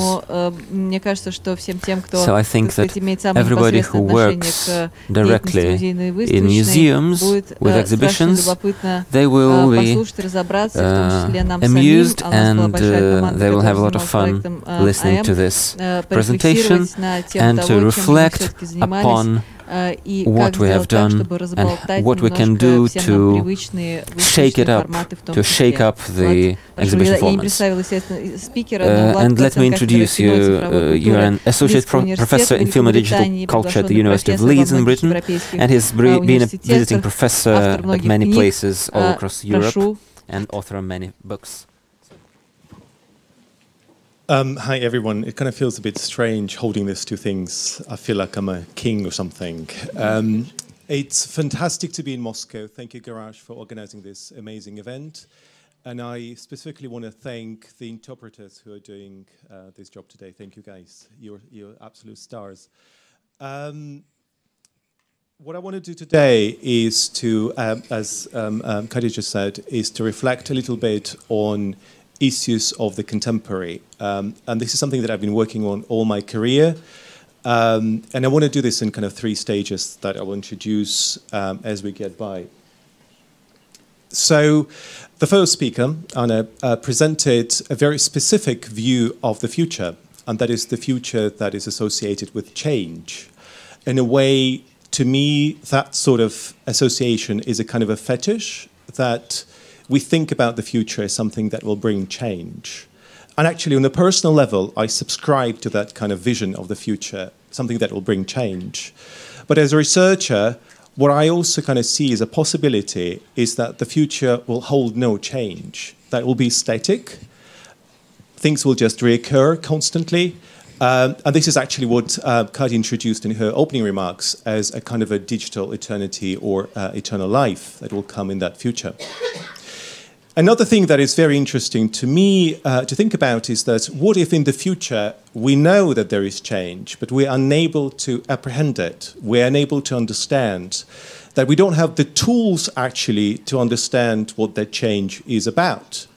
In other words, what if that change is bigger than ourselves? And uh, what if that future changes ourselves to an extent that we are lo- no longer what we are now, but something else?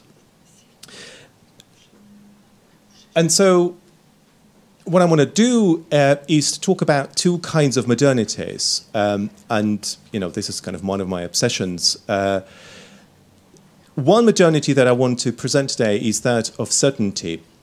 Um, if you want to have a kind of a metaphor from science, I'll probably call Newton's physics as a kind of a metaphor for that sort of modernity, where we want, we desire certainties of all kinds. And yet, there is another kind of future coming, and that is the future of uncertainties, where we are not sure how it will hold.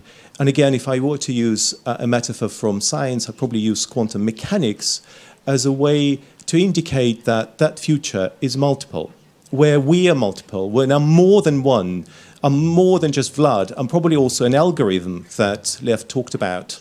I'm also a number of tools, of choices that were made for me or maybe actually I exist in many spaces, such as London and Moscow at the same time. I don't mean that I'm actually physically divided, I'm kind of photocopied or anything, but rather in my mind, in my imagination, I constantly switch between those locations in the same way as those who speak more than one language already see the world from that multiple perspective. So, what I want to do today is to talk about a local event here in Moscow that I'm sure you're familiar with then I want to zoom out and talk about some global trends and then zoom in again, but in different locations, talk about a project that, that I was involved in for some time. Um, so um, this is a kind of a introduction to that debate. Uh, it kind of, in a way, documents my global travel, so you can kind of see where I've been. But let me just emphasize that you don't actually have to go there to imagine what those places are like anymore, right? You, there are tools for us to see what the world actually is like. But to me, it's important to trace those movements to see that change, or rather the lack of change. And I really want, want to show today is a kind of a crisis of the Museum of Contemporary Art as we know it now. So let me try to do it using all kinds of examples. So the Moscow event that I want to start with um, happened, I think, about a couple of weeks ago when some people went to the Tretyakov Gallery, right? Um, and they went with an excursion that they self-organized.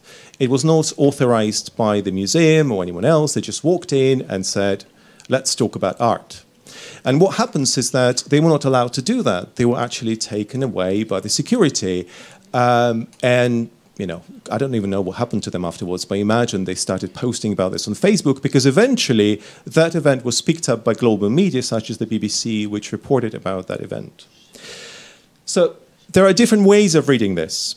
Of course, the BBC picked on this idea that the Kremlin wants to control everything, including uh, visitors to the museum, the Tretyakov Gallery.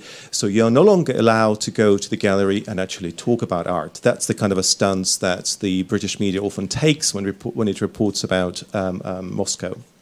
Another reading is, of course, um, to think about it from the point of view of the museum and uh, its stakeholders obviously worried about uh, kind of uh, getting money to support the museum, the staff, to make sure that they can, you know, restore the paintings and make them available to the public. What I'm interested is something else, and that is, to me, that event is about the crisis of that modernity of certainty. Let me remind you that in the old good days, a visitor to the museum was supposed to go there on their own, so one man and one woman, stand in front of a painting in a particular spot to observe it in a very specific way, something that we know as the linear perspective. Those days are gone, of course, um, and what this event really signifies is this conflict between the traditional setup of a museum that was established already in the 19th century and the contemporary practice of self organization sharing. Where actually I don't have to go to the Tretyakov Gallery with my friends to talk about art. I can do so on Instagram, as some of you are doing this, chatting to your friends as you listen to me. So I go there as many, not one, right? Um, so this is something that actually, to me, is way more important and bigger than just the Kremlin trying to control visitors to an art gallery in Russia. What I want to do now is to kind of move away from Moscow and look at some global trends. And I'm going to push my chair, so, or maybe actually stand, so I can also see what's happening on screen there. So um, I'm going to start with Tate uh, in London to say that there is an interesting phenomenon occurring in Britain, and that is what I describe here as a return of the painting, right? There was a time, let's say 20 years ago, that you would go to Tate and you would see very strange things happening, as in performances, music art, um, you know, digital art, all kinds of interactions. Interestingly, in Tate Britain now, two floors are taken by two exhibitions that present only paintings, nothing else but paintings. They do so also chronologically. In other words, they cover a whole century, 20th century. Floor one does, you know, the first 50 years, and floor two does the second 20 years. To me, like the event in Tretyakovka, it's a kind of a return to that sense of certainty um, and an indication of a crisis of that experimentation with interactive uh, art, or what we know from theory as uh, relational aesthetics. Those who are, who've done their kind of art education would know what I'm talking about here immediately. Another example that I want to kind of draw on as a sign of that crisis of display uh, is an exhibition I had a chance to see in Bogota, in Colombia, which combines elements of big data, something Lev talked about a few minutes ago, and also traditional painting. So you know that Colombia went through a very difficult process of uh, decriminalizing, sorry, actually kind of fighting the criminal uh, drug dealer, uh, dealing uh, uh, in the country, which was a very traumatic experience. I don't have the time to go into that. But what this artist did is that he tried to map all the places in Colombia where all kinds of atrocities uh, occurred, uh, in other words, mass killings, right? And so as you go into the exhibition, you see this Google positioning of crime in Colombia that is related to drugs. What this artist also did, and this is the kind of a return to the painting, is that he asked soldiers from Colombian army who actually took part in executions of people to draw their experiences. And this is a work of art that documents uh, one of the killings um, in a Colombian village. And clearly, this was used as a way to deal with trauma and kind of post traumatic disorder of those soldiers. But it's also a document of uh, the national trauma um, and generally a document of modernity that is about to disappear. Now, this takes me to another global trend, and that of a uh, combination of data and documentation as two really big problems that uh, museums of art have to deal with uh, in the contemporary world.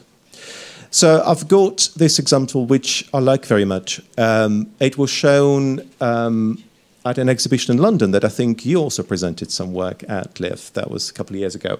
Anyway, so it's um, an artist that uses pixelation and color coding to represent war victims uh, of the US and ally invasion of Iraq and the Iraq war.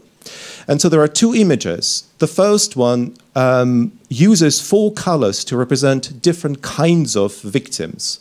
So those who were civilians, those who were um, American soldiers, those who came from other countries. And so these four bands of color uh, represent the scale of uh, those deaths. Uh, the orange color in the middle is the Iraqi, uh, sold, uh, sorry, Iraqi civilians that died in the conflict. And that really shows the scale of war. The critique of this work in that it examines the kind of the typical standard way of using data to represent some social phenomena and that is the image on the right where pixels are mixed where the colors are mixed and actually we don't get to see how many soldiers how many people on which side died in that particular conflict. So, on the one hand, it's a project that involves big data and analysis and formulas and what Lev described as measurements of all kinds, tools to identify an experience for everyone. On the other hand, it criticizes that very process through documenting trauma um, and war. Another example that I wish to use in this category uh, is something that I picked on very recently at Berlin Biennale. Uh, it's a different kind of work of art where as you enter the exhibition, you get to see a number of works displayed as a painting. And I want to use this as a visual metaphor to go back to my original idea to say that one is no longer one, but one as many, right? Kind of exists in multiplicity uh, as an extended self. And then as you look at each of the works, you see how the artist uses maps, very old maps, not digital maps, but kind of like those who were printed on paper, and superimposes imagery on them. And to me, those layers represent different stages of modernity that of certainty and another one of uncertainty. I'm moving on to my third point that uh, shows a kind of a crisis of the museum and new questions that arise with the shift towards uncertainty. And then I'll talk about the project that I was involved in. Um, so that piece in a glass box actually is not rock. Uh, it's not some kind of a nature made, well, actually, it's a nature made thing. Anyways, it's a piece of a bigger thing, which is known as Fatberg. Congratulations, interpreters, you're going to have to deal with this. So, a Fatberg is an English word that brings together two words, fat and iceberg. It's the largest object consisting of human waste that was found in London sewage that was bigger than a double decker, you know, that sort of big um, London bus. And so the Museum of London took a piece of that and brought it into the museum, and they're trying to preserve it now, basically a piece of shit, if I may, as a document of human activity at the start of the 21st century. Because it clearly contains DNA of Londoners, it shows what we eat, what we consume, what kind of medication we use, right?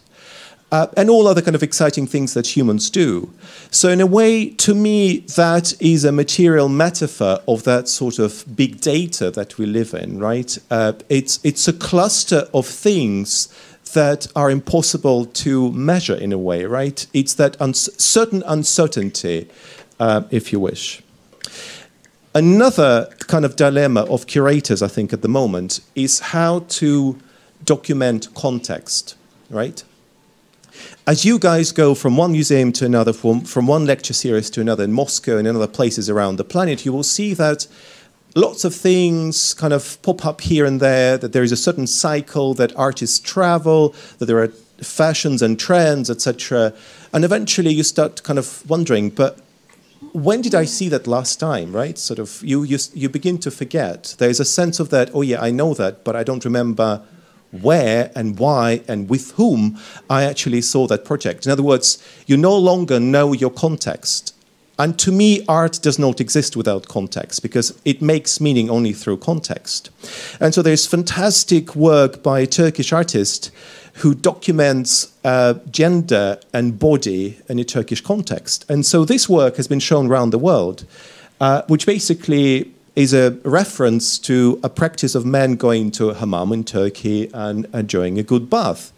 But because this is Turkey, you really cannot kind of show the body in great detail. And so, uh, sort of legs and feet are used as a reference to that. Also, and I'm moving on kind of a art historical context here, is that it's more of a reference to the times when you could not represent a human body uh, in Islam. So it's an interesting work of art where context has been completely lost. It's just for many people a reference to going to a bath, right? Going to a hammam. So uh, this takes me to the last part of my presentation, um, and here I will probably chime in with what Katya was saying in the introduction, and that is how we kind of go beyond the museum and how we go beyond who we are and try to reinvent um, our, ourselves and, and places. So I want to talk about this artist that I know personally, Dave Lynch. He's not related to the filmmaker. He's just a lad from Yorkshire. That is the city of Leeds where I work. And so he's based there. And this is how we kind of came to know each other through a local connection. Um, he's known as somebody who makes laser projections uh, in the cities. So what he does in this particular case is that he takes a laser, puts it on a horse, I'm not joking, and gallops around the city of Leeds so that the laser projects a galloping horse on the city environment, this way creating a kind of a palimpsest or an augmented reality. To be sure, this is another one, and you can see kind of Yorkshire skyline out there, very dark clouds. Um, we instantly recognize a reference to Muybridge's uh, experimentation with uh, still photography that eventually became what we know now as film, where again a galloping horse was used as a way to prove that there is time in the work of art and that if we collect those things together, eventually we will create a new form of art, such as film. So this is another example where that galloping horse appears next to, I think, an advertising billboard there on the left.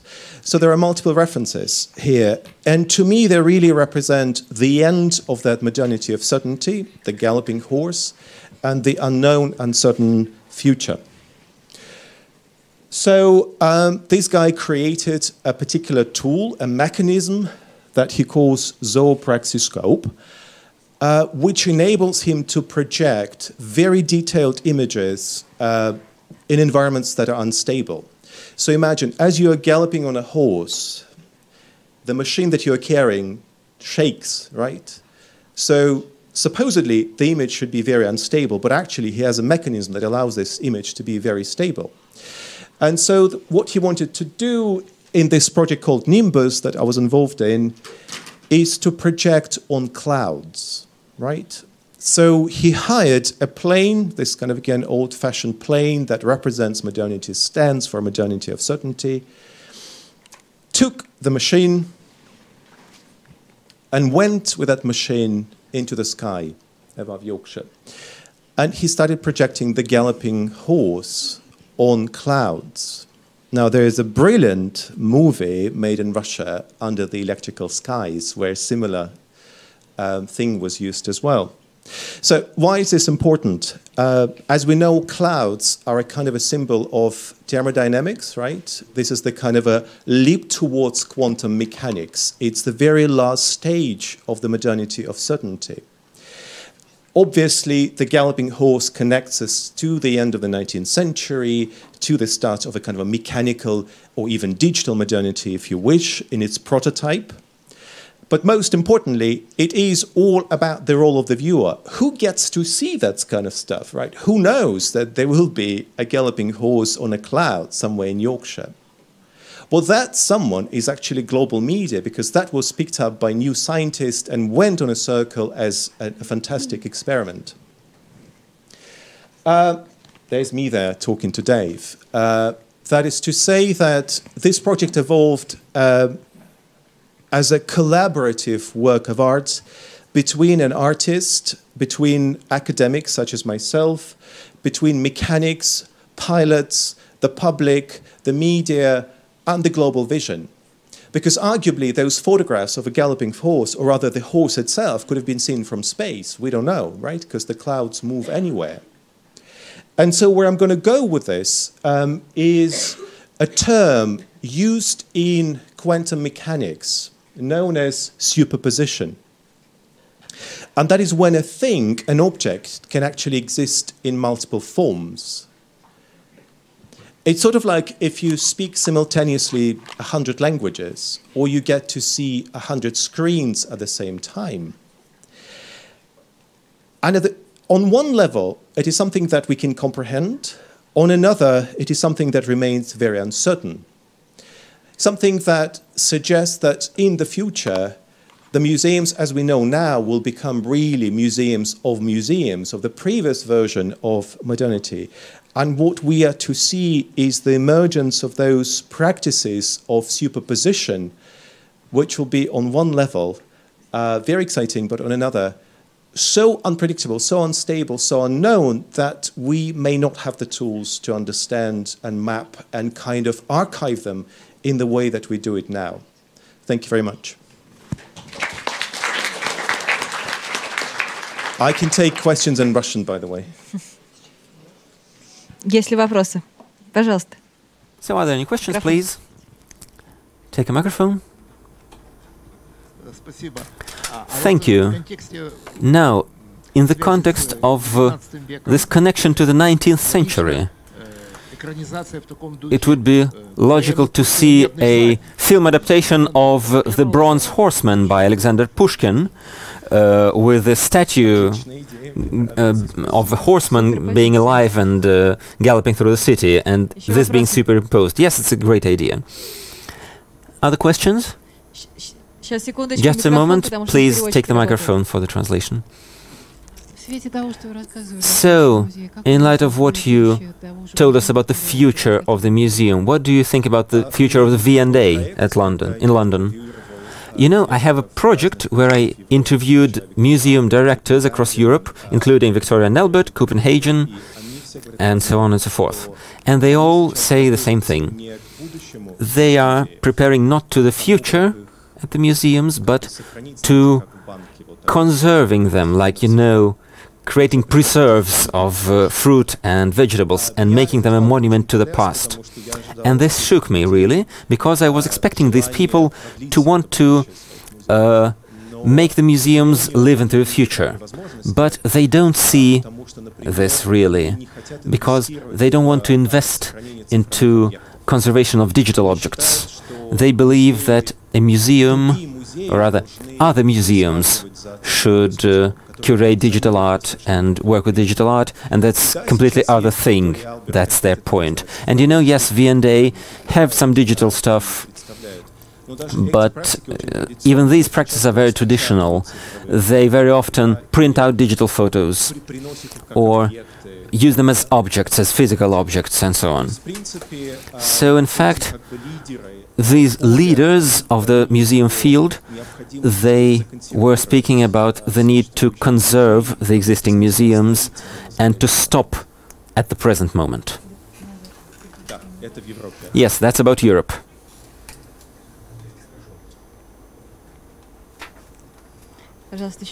Please, more questions.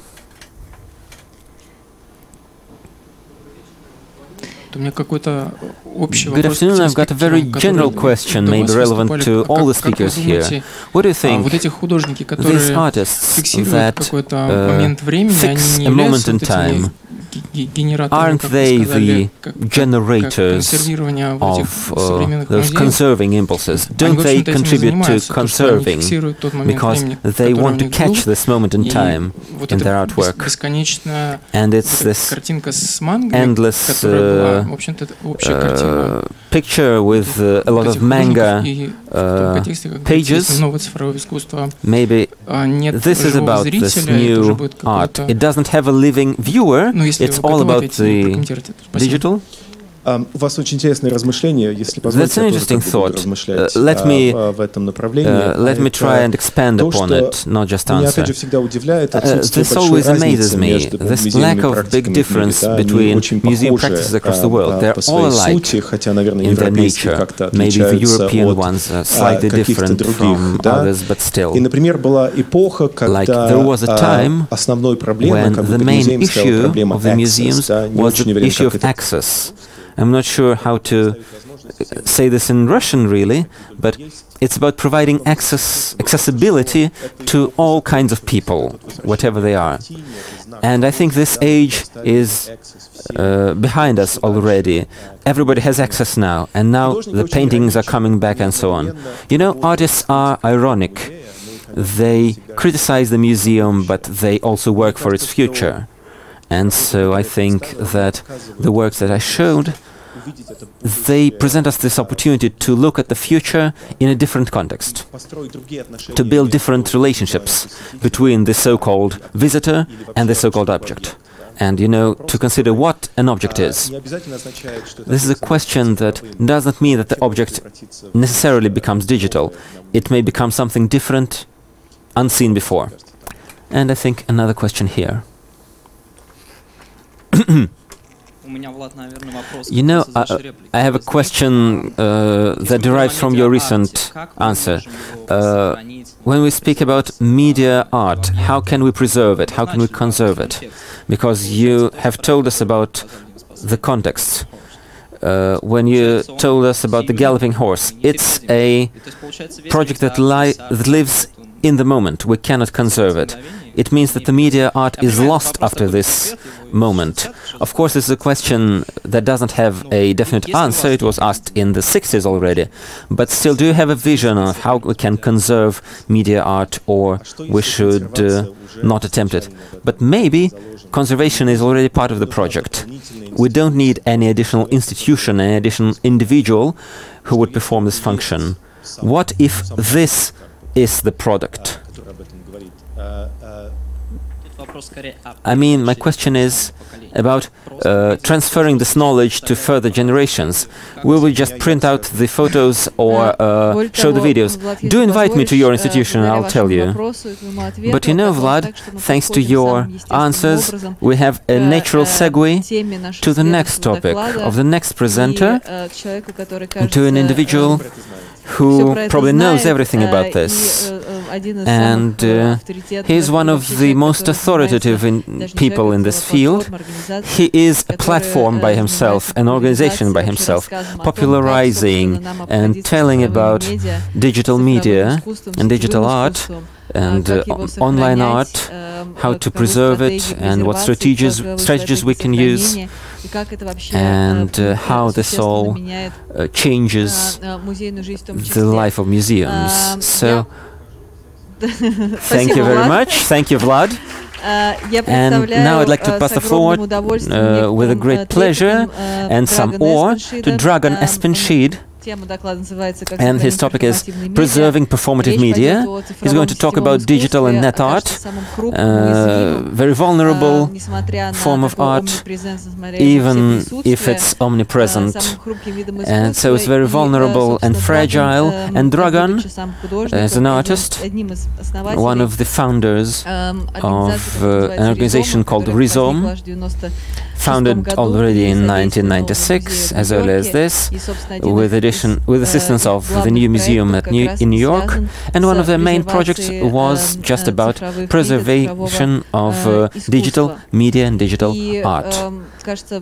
And I think I have said everything, and now I hope that this presentation will help us all uh, together to learn more and to find answers to questions that plague us all and interest us all. Please, Dragan. Thank, thank you, Katya. Um, when I was listening to this on the headphone, I thought, is she really talking about me? That was a very flattering introduction. Thank you so much. Um, um, okay, oh yeah, so this, it's already visible on screen. So um, I want to um, I want to speak about Rhizome's preservation program that I'm the director of, and um, this is our very fancy logo. And you see, it's already not static. And I was putting a lot of strain on the technical team here because I wanted to present everything from the live internet and everything has to be like in a running state. So I thank you very much for um, agreeing to all my caprices and giving me this wonderful laptop here. Um, so um, just a quick a quick background. Rhizome was uh, founded in 1996 by the media artist um, Mark Tribe in New York and on the internet. And um, we have launched. I mean, I wasn't a part of Rhizome back then, but in 1999, the, the art base was launched as kind of a institutional provocation, so that anyone, any artist, or who would see themselves as an artist, could upload their artwork to the art base and be then part of this, uh, like future-looking archive of an art form that tried to establish itself at that point in time. Um, and it has grown to like 2,000 pieces. Um, and since 2003, we are an affiliate of the New Museum in New York.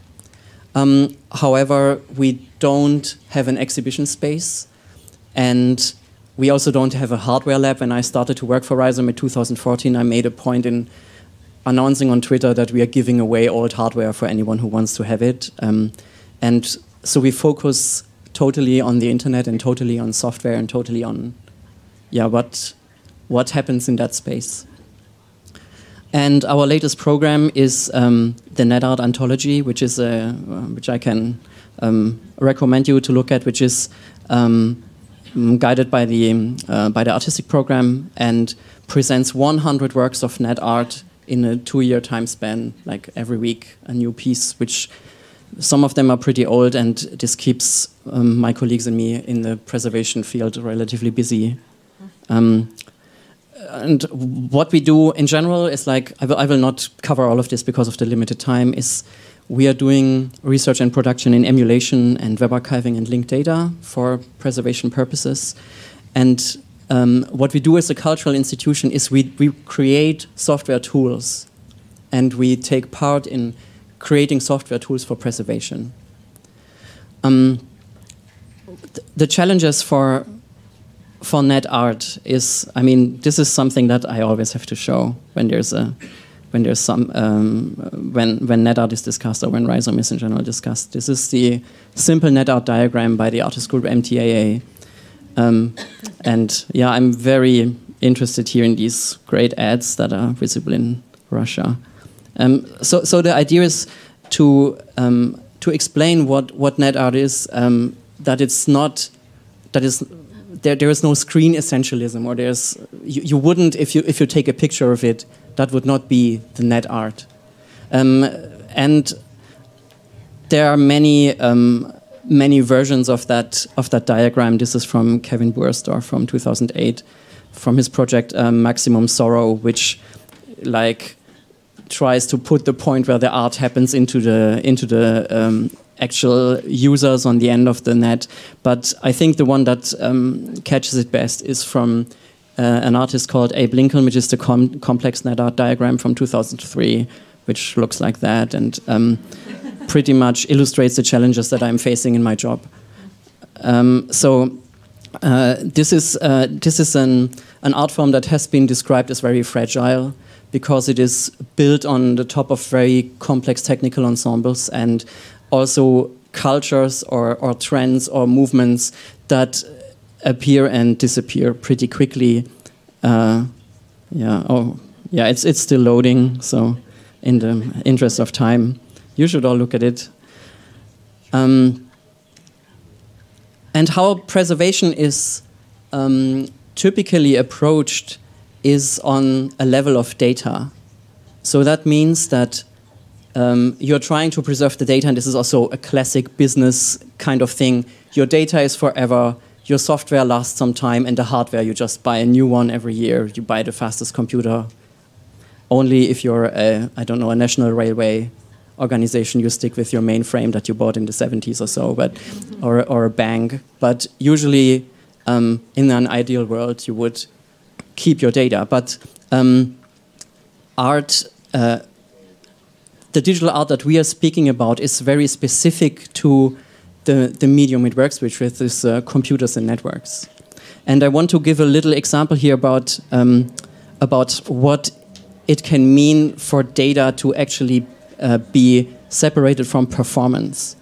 Um, this is a this is a way how we how we present legacy um, artworks in the in the NetArt Anthology. I hope it will function right now. Yeah, because you need quite a, a, bit of internet space here. So this is a this is a work from 1996 that appeared as uh, uh, by the group IOD uh, from Great Britain, and it was a magazine like or a zine that was passed around on diskettes. Um, they also made, uh, which is also which you can think as a predecessor of, of, network, just like mail art or phone art or fax art or whatever other practices. And um, you would use, uh, you would insert the disk, and it would install a software. And this install process actually is is part of the artwork too. So the the license that you are agreeing to is um, pretty outrageous, and it will unpack your, it will unpack the files. The files are now here, but they are very specific to that um, to that operating system that was popular at that point in time, Macintosh OS 7, because it puts the it puts the every folder that you open in its own uh, window in a in a discrete um, visual arrangement, and um, by in that way creates a creates a poem that um, that is, if, if you just think about this as data, as files, you will immediately lose that performative aspect of it. Um, I will try to go to the part where you can choose your own adventure. Kind of, there is a way where the poem uh, divides in two strains. Oh yeah, so now it's a new like a new thing is happening, and yeah, I think it's uh, it's really beautiful. And um, yeah, so so so, but you already see the thing that the artist did is is minimal if you if you just if you just I mean on the on the level of technical complexity, it is um, it is a very small intervention in in the file system and it's uh, all the kind of all the technical work has been done by software engineers and hardware engineers and yeah uh, at Apple and um, that's uh, that doesn't make the artwork less valuable. Uh, the opposite, actually, it is it is very elegant, but it's also um, it also conflicts with how a museum would usually approach an artwork. Because an artwork from a museum is something that the artist one day woke up and they created it from nothing, um, and then that that usual, let's say it's a painting. In most cases, it's one. Um, and that has to be analyzed like down to the to the chemical composition and that chemical composition has to be kept intact and if you're trying to do that with a computer from 20 years ago you are lost i mean that's also why i mean there are institutions that are able to to keep old computers running um, these are usually very old computers who run at a low speed.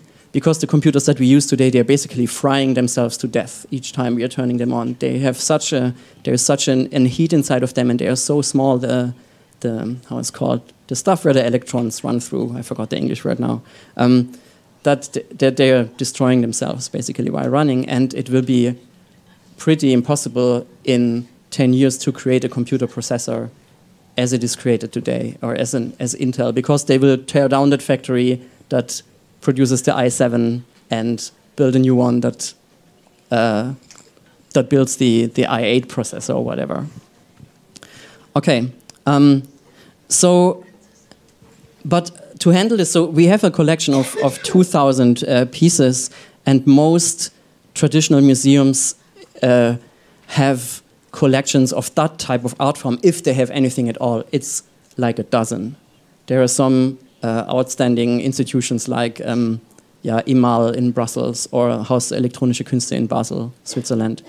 But um, in general, what we are trying to do as we want to help this art to gain a foothold in the, in the art world is to provide the right level of abstraction that an institution can actually handle the preservation of such an artwork. And so, if you look at it from the complexity point, when we look at that at that little archive of files that, that came out, so you have the artifact that is like a very small grain of salt on top of a pyramid. Um, there is a software environment that has been created by, uh, I mean, nowadays it's hundreds of people that, for example, create an operating system or create an application like Unity that artists like very much or things like that. And then there's also hardware that is controlled by the software. And I mean, each of these layers is um, is impossible to understand by a single person and is only possible to understand by an organization the size that actually creates these types of things, which is Microsoft, Google, Nvidia, or something like that. So the art world cannot compete with that. So what we try to do is, um, and this is in in um, in a research partnership, um, especially with the University of Freiburg um, in Germany. There is a limited amount of hardware that exists uh, each year, let's say, that's countable. Um, on each hardware, you may be able to run a number of operating systems and software as it gets updated before the hardware is discarded. And then you have the uncountable amount of artifacts that you actually care about as an art preservation person or as a, in general, yeah.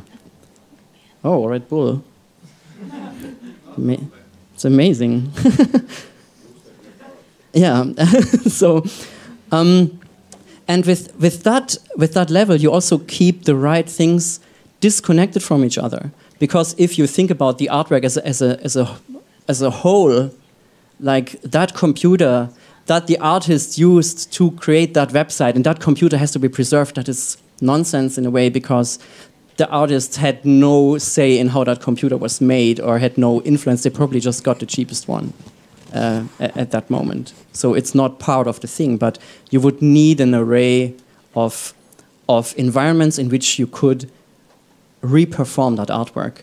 And so that's what I'm what I skipped before because it fits better here. I should actually move it here to that point um, here. Um, which is that um, an, a collection of this type of art is less of an art collection, but it's more of a repertoire of a of like a set of festivities or songs or something like that that is constantly reperformed, and you keep you tr you are trying to keep the knowledge around on how to do that, um, which also which also includes um, that these things need to change over time. And I want to illustrate this with this um, work. Um, my boyfriend came back from the war, which had its 20-year uh, anniversary exhibition at the HEK, uh, Haus Elektronische Künste in Basel, in 2016, where we were um, helping to develop a museum setting that is using emulation and, and web archiving to represent that artwork. I will only uh, talk about like the original one from 1996. The, the whole exhibition was about these different um, these different um, versions about it that were created also later. For example, there was a other artists created versions on Twitter and things like that. Yeah, so um,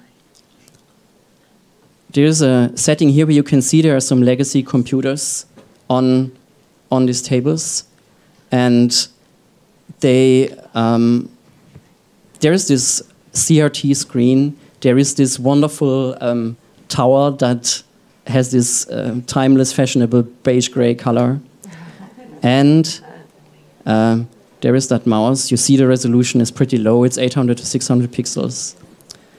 This mouse has a ball, so if you move the mouse cursor, it's kind of like wobbling. And um, yeah. But what is it? This computer that we've just seen is just a theater prop. This computer is not actually computing anything. Um, what is actually computing is this small um, computer that is now like a, a cheap office machine that runs an emulator with that old operating system and a web archive. And connected to that system is a mouse. There's, you see there is, there is a, an array of adapters so that this old mouse can be connected to that new computer. And there is an adapter to connect that old screen. So while, um, uh, and this is also, this is just a way to show it in the museum because that work, of course, never had a canonical form to start with. It was looked at by, by all kinds of people on all kinds of computers and screens. And um, what we wanted to do to make it attractive in the museum is to show a scenario how it was contemporaneous to that time. So we also slowed down network speed to dial-up modem, uh, four kilobytes per second, so that the images would load really slowly. Um, visitors in the gallery were also able to, I don't know, fool around with Windows 95 and um, draw something in Microsoft Paint to get that context of the time that work was created in. So how did computers look? How did they work? How was that operating system behaving at that point in time? It, it canalizes lots of culture. I mean, operating systems are amazing uh, collections of, of contemporary culture. They don't, they're not only create it, but they also embody it in, in many ways. And here, this is this, the show travel to Eindhoven, again on this emulated setup. And here, um, the same style was used, but uh, there was a glass table so that you could even see that it's a uh, that the actual computer is somewhere else. Um, so these screens and mice and all of these kinds of things, they will at some point go maybe just like um, museums were banding together to recreate neon tubes from the 1920s to recreate light sculptures from that point in time. Maybe at some point they will also feel the need to have a bunch of CRT monitors built or something like that. But yeah, that's um, that might be or might not be the case. We have we have the software. So um, the most important thing when you're thinking about preserving something uh, is an object boundary. It is also a there's also a performative boundary, and there's the performance of archiving or the performance of preserving something as well. Um, a classic artwork. Let's go to the painting again because I really I can't see paintings anymore. um, there is a painting is a self-contained thing, and if you if you throw light at the painting, the light comes back into your eyes. It kind of works all by itself. You don't need to do much by it. You just need to keep it in its original shape. And as long as the sun shines and as long humans have eyes, you will be able to perceive it. Um, it's a very bound object. It's it's um, kind of you don't need any additional knowledge to see something. You just need your eyes, and maybe you want to move around with your with your body to to look at it from different angles. Um, in the in the world of software, we might say like a CD-ROM or something like that is very bound, like something before the internet became came along because you put it in the computer and everything that that artwork needs is on the CD-ROM. Um, then there are blurry objects Blurry objects are maybe something that an artist has created, but it makes references to other things that the artist has no control over. And that is, that is a typical net art situation. Um, the simplest thing is an artist, I don't know, writes a, writes a blog on their own server, they control the server and could actually take the software on that server and hand it over to Rhizome or another institution. And that would be a manifestation of that work. But as, as soon as there's a single YouTube video in that blog, let's say, that doesn't work anymore. So the object becomes blurry. The, the borders are not really clear anymore. And the, the boundless object means that the object is totally located on infrastructure and machinery that the artist has no control over, like, let's say, Instagram. We can't go an artist can't go to Facebook and say, "Can you give me Instagram so my artwork can be preserved?" Even even if Facebook would agree to do that, there is no way this can actually happen because Instagram is, has no stable state. so um, as we are moving uh, around these object boundaries, we are also sliding. Uh, we, we have like a sliding, let's say, preservation quality or so. You have the full performative preservation, and you have um, something that goes more in the direction of documentation. But with um, with these types of artworks that we are dealing with, there is this um, there is there's like a gradient, and we are always trying to to do the best we can so that it's preserved in a way that makes the most sense. But there's yeah these these are the elements we're working with. So um, I want to quickly show this um, this artwork uh, from Amalia Ulman, which was an Instagram performance and it, I think it really illustrates. Um, this was created with the tool that we are also creating, which is called Webrecorder. Um, so you see, this is how Instagram used to look in 2014, and um, our tool Webrecorder is able to capture it in exactly that state and make it accessible again.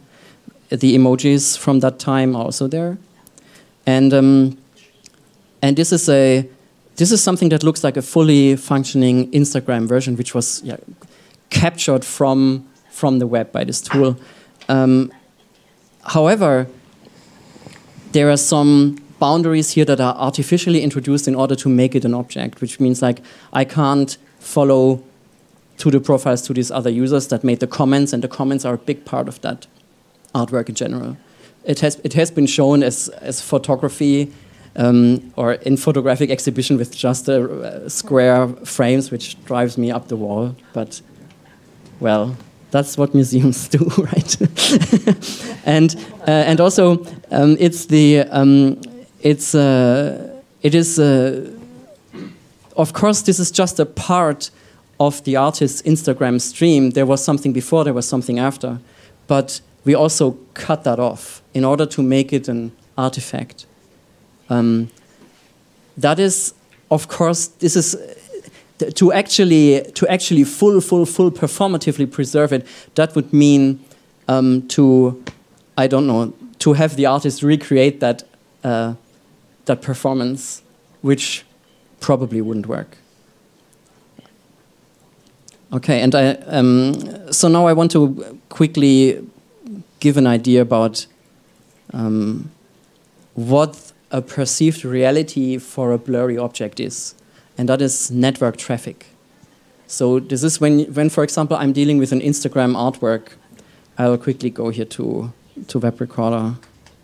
Come on, and I will look at this Instagram stream of an of this German artist Andy Kassier, who is a who is like also performing a certain persona on Instagram, like some dude that probably got rich with Bitcoin, or it's, it's not really clear.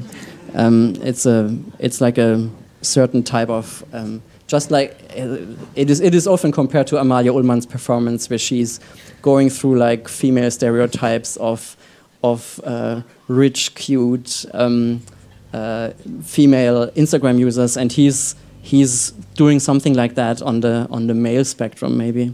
Um, so I would I would go here to oh I need to log in right? No, I don't need to. I will just do it anonymously for a second. So I will um, I will log in here, um, paste paste the URL, and start the session, and that. Um, we can actually do very similar things with emulation. I just can't show it to you right now because this is not my computer. But um, I am now looking at the Instagram profile through this tool, and while I'm while I'm triggering certain activities on the network here, this network activity is preserved here, and you see this counter is going up. It's recording the, the network traffic. And I can now um, perform certain things. I would, for example, click on this image because I think this is part of the performance. So now I have it. And if I stop capturing now, oh yeah, I know the new features. I know them. So um, I can now go back at that, at that preserved version. Does it? Oh yeah, yeah. It just takes a bit longer here. The server is located in the United States. So so now I can't click on any of the pictures I didn't click on before. That's the part of the boundary definition that I made. Um, but I can click on that exact picture that I, that I checked before and it will appear. However, if I choose another one now, it's like, well, the, it's not there. Yeah, so, so that is, that is a, a performative way of creating an object boundary and an, an archived version of that piece that is actually boundless. okay. Um, I I try to keep this uh, I try to keep this simple. I hope you you got an idea of how this um, how this works, and I'm I'm happy to to answer any questions that you might have. Thank you. Thank you. So now I can use this. oh yeah, I should I should show the Rhizome logo in the meantime. Hello. Hello. Oh, um, thank you uh, very much for interesting presentation. Just a quick question: How do you choose a date? How do you choose a date you document something at? Oh, this is um, this is depending. I don't need that, right? Sorry. yeah. um, this is really dependent on the on the piece. Um, with the Amalia Ulman piece, kind of, we were technically not ready with the tool while the performance was going on, I would have preferred to do that, kind of create an Instagram account and follow the artist, because that is how would I would actually get to know about this performance or how, how I would see it from my perspective. Um, we were finished with the tool right after the performance, so we captured it in its final state. Um, there, is, there are certain pieces that um, are living, uh, where the main thing is that there is constant change. And so in that case, we would capture several versions of it. Um, the same is with, for example, with these emulators. If you if you have a website, you might you want to keep the website also separated from the actual operating system and um, environment that you run it in because you might uh, you might want to run it in different environments. So there's also a temporal a temporal aspect to it. So uh, that also shows that this archive can never be really complete because you can't even define what what that means. Yeah. yeah. yeah. Thank you. Есть ли еще вопрос у нас? Еще один вопрос.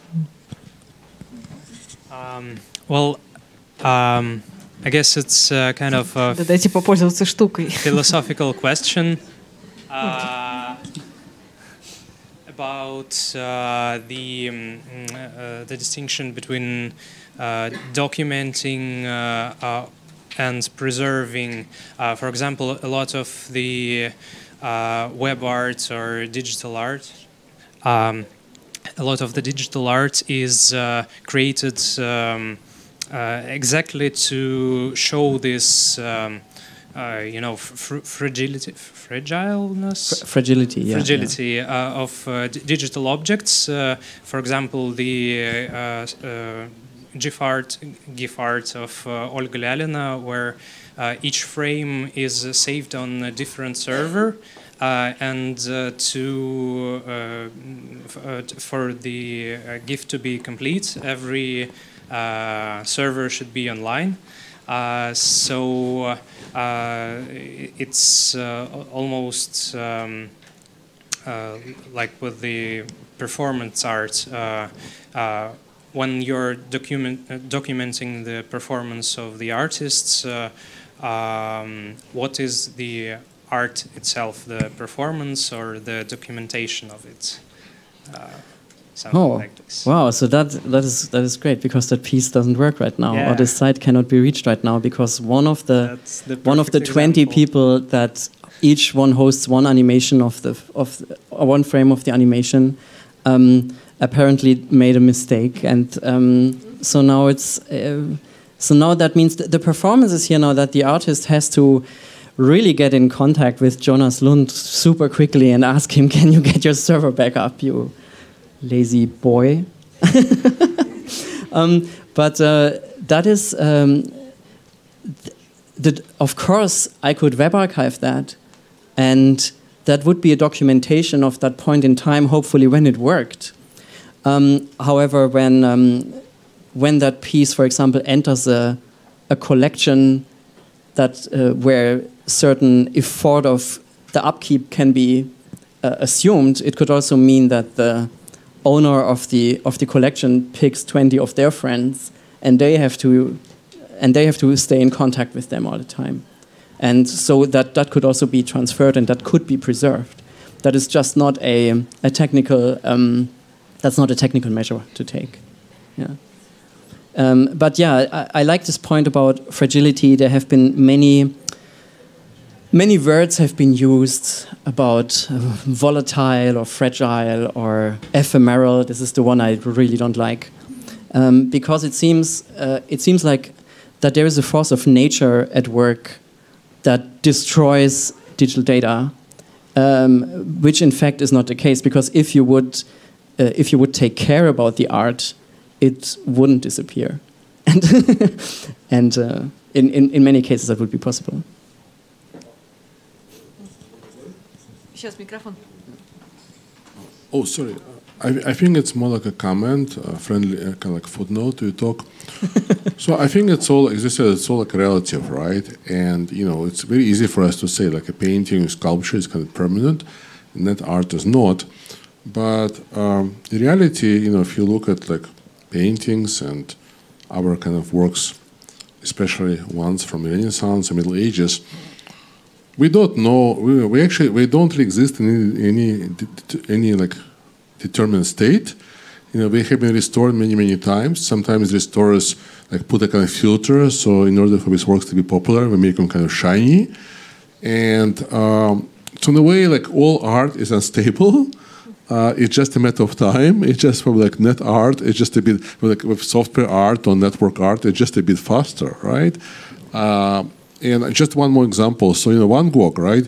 So he was like first, one, right, first generation of artists who used new medium of oil paint, and he used like this very kind of violent like, greens. People said, "Why your greens are so violent?" He said, "Because I'm using this new medium of tube paint, and from what I can see, in a few years, it'll become like much less green, much less saturated." So it's very hard to say like what is what is how his painting should look like, what's really painting right? So it's really like just a bit of time. It's really just relative, right? So everything you have in garage is also unstable, you know. Just wait, you just wait. И мы настаиваем на этом. So we insist on it. You just you just wait. Yeah, just, yeah just there, this is uh, this is this is um, so it's good, maybe it's yeah. good news, bad news. I'm not sure. yeah, it's just reality. Yeah, yeah but this this is uh, this usually comes up um, when uh, th this is an, this is an interesting point because uh, at some at some point in time when we are discussing new media art or digital art, software art, um, conservators that buy into this thing, we say, oh yeah, it has always been like that, when for many years they just have been saying the opposite, or museums have operated in an opposite manner without realizing exactly what you said. And um, there is also, uh, I, again, I want to point out the parallels to to certain practices or, or ritualization of, um, of art, for example, when you see how religious art is usually restored. Um, yes, yes, yeah, exactly. Made it like made like a very like shiny. Yeah, so so that means like that art is made to be for a certain purpose. It's not That's be right. made to be fixed in time, but it's made to be um, to be a, a side of, of religious practice, for example. Спасибо большое. Все-таки дадим воспользоваться Драгону, это специально нашим прекрасным душам. Uh, so I just want uh, to let Dragon use uh, this um, shower. the headpiece um, that we use here. So I think uh, it was very good uh, to talk about the strategies of uh, conservation and preservation because um, we realize how tender it is and how poetic it is and conservation and protection can um, become a purely artistic practice. Also, Dragan mentioned um, something um, which uh, occurs regularly. Uh, uh, and uh, he touched upon the issues uh, uh, of immortality and mortal life and how we can extend life cycle of artworks and what can we do for that and quite naturally we are moving on to our next speaker and our next presentation by Oksana Moroz, do you agree to digital immortality? So let's uh, um, think about the concept of death, mortality in this context, what it would lead to, and uh, um, whether it is going to have an end. So Oksana Moroz is a doctor of cultural studies, um, an associate professor of the, Depart the Department of Cultural Studies and Social Communication at um, NITU MISIS. Uh, she is also working in the Faculty of Social and Cultural Project Management at Moscow School of Social and Economic Sciences, etc. So, unlike all the previous speakers, I'm going to be less oriented towards art and art practices. I'm much more interested in this fundamental issue, this controversy, uh, which was uh, described by Simondon, who contrasted technicism and humanism, and this interaction between human and technology. And so I think that all the presenters today have touched upon this subject in this or that way, because at the end of the day it's hard to describe what people create or try to conserve while avoiding categories like life and death. It's hard to find some definitions or terms or set concepts if we cannot agree upon what we mean by life or death in the digital environment.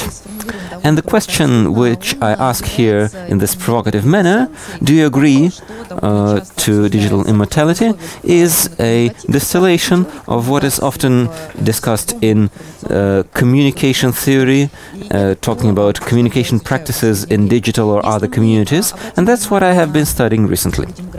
Now, if we look at the demographic, anthropological, and cultural context of the digital, we will see that the most popular communication services have become the biggest cemeteries. Facebook is a good example, or VK in Russia, more familiar to most Russians. Uh, to a large degree, in certain segments at least, they become spaces where the living exist as well as the dead. And lately, this phenomenon has been seen not by not only by individuals but also by the creators of the services. Certain business solutions arose that allow them, the companies, to uh, save resources on maintaining these dead profiles. For example, if you have not been visiting Twitter and not tweeting anything during 60 months, your account is deemed inactive, and so this digital big brother proclaims you non existent. And then the question arises how will you fight for your right to be living? Maybe you are alive, but you have forgotten this account or you have uh, refrained from this communication uh, by your own wish. And so, looking at this change in the digital being and at uh, the uh, bearer of this living identity online makes us think about this question who determines this online existence? Is this the human being who has this naive experience of living and has a tradition of culturally articulating this? Or is this the mechanical means, the electronic means of uh, determining the life uh, and the death? And so uh, the question of whether an individual wants digital immortality becomes a question of their attitude towards life and digital life.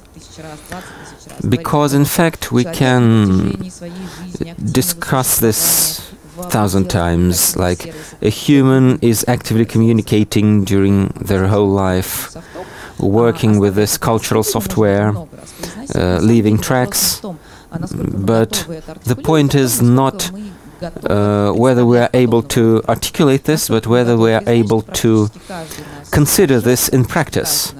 Uh, realize that every our online gesture, every our click is a performance of our activity, not in the art sense of the world of the word, but rather in the linguistic sense of it. It's a performative gesture. We're doing something, we're active. And so the other question here is whether we consciously leave this uh, digital trace. And that's why I am uh, presenting you the word life logging here, because when we talk about this digital trace, uh, we think about the components of this trace. How deeply we are engaged into this self uh, observation and reflection upon any action. Human reflection or machine reflection. For example, if you have a fitness tracker on your hand, uh, this fitness tracker is united into an infrastructure or ecosystem with your mobile phone, with your sporting apps, with your smart scales, and other ways of caring about your own body. It means that you are leaving this digital trace of data and that you proclaim your digital presence through digitalizing bodily practices. You are telling the story about yourself, consciously or unconsciously.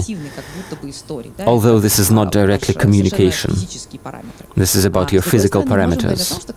On the other hand, we can say that this digital trace is quite conscious.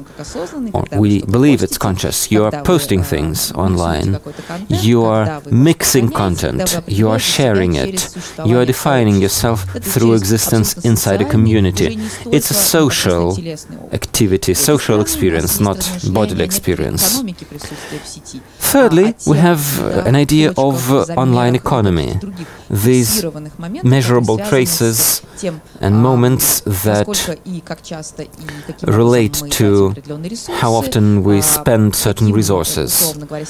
Let's say the services we trust and services we don't trust. For example, do we trust centralized or decentralized economy? Do we follow the Bitcoin hype train and so on? You see, these are uh, different examples, and uh, I am here, trickster-like, want to expand your horizon in thinking about the traces we leave. We leave. It's not a question of uh, our wishing to exist post-mortem, it's the question of us being ready to measure our existence online and being able to be conscious about all our activities. Uh, uh and the second point here about digital immortality is uh, our relationship to end-of-life practices.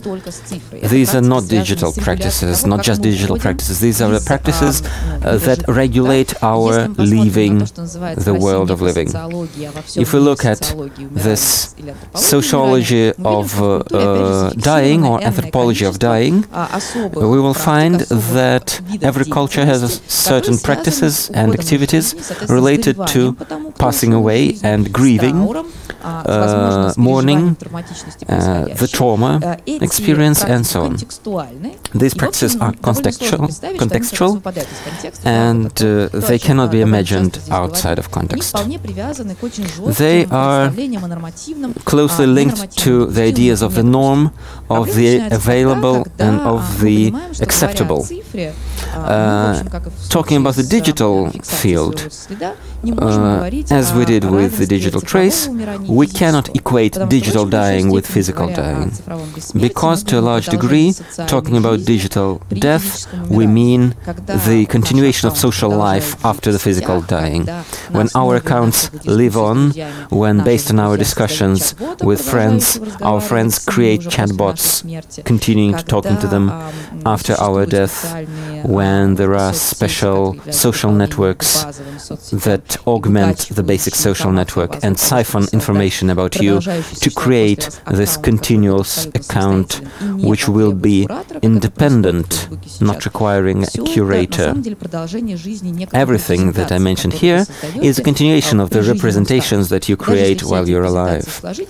And even if you put them all together, they are not equal to your personality because your personality cannot imagine what you are really in, in uh, quotation marks because this really is not imaginable really.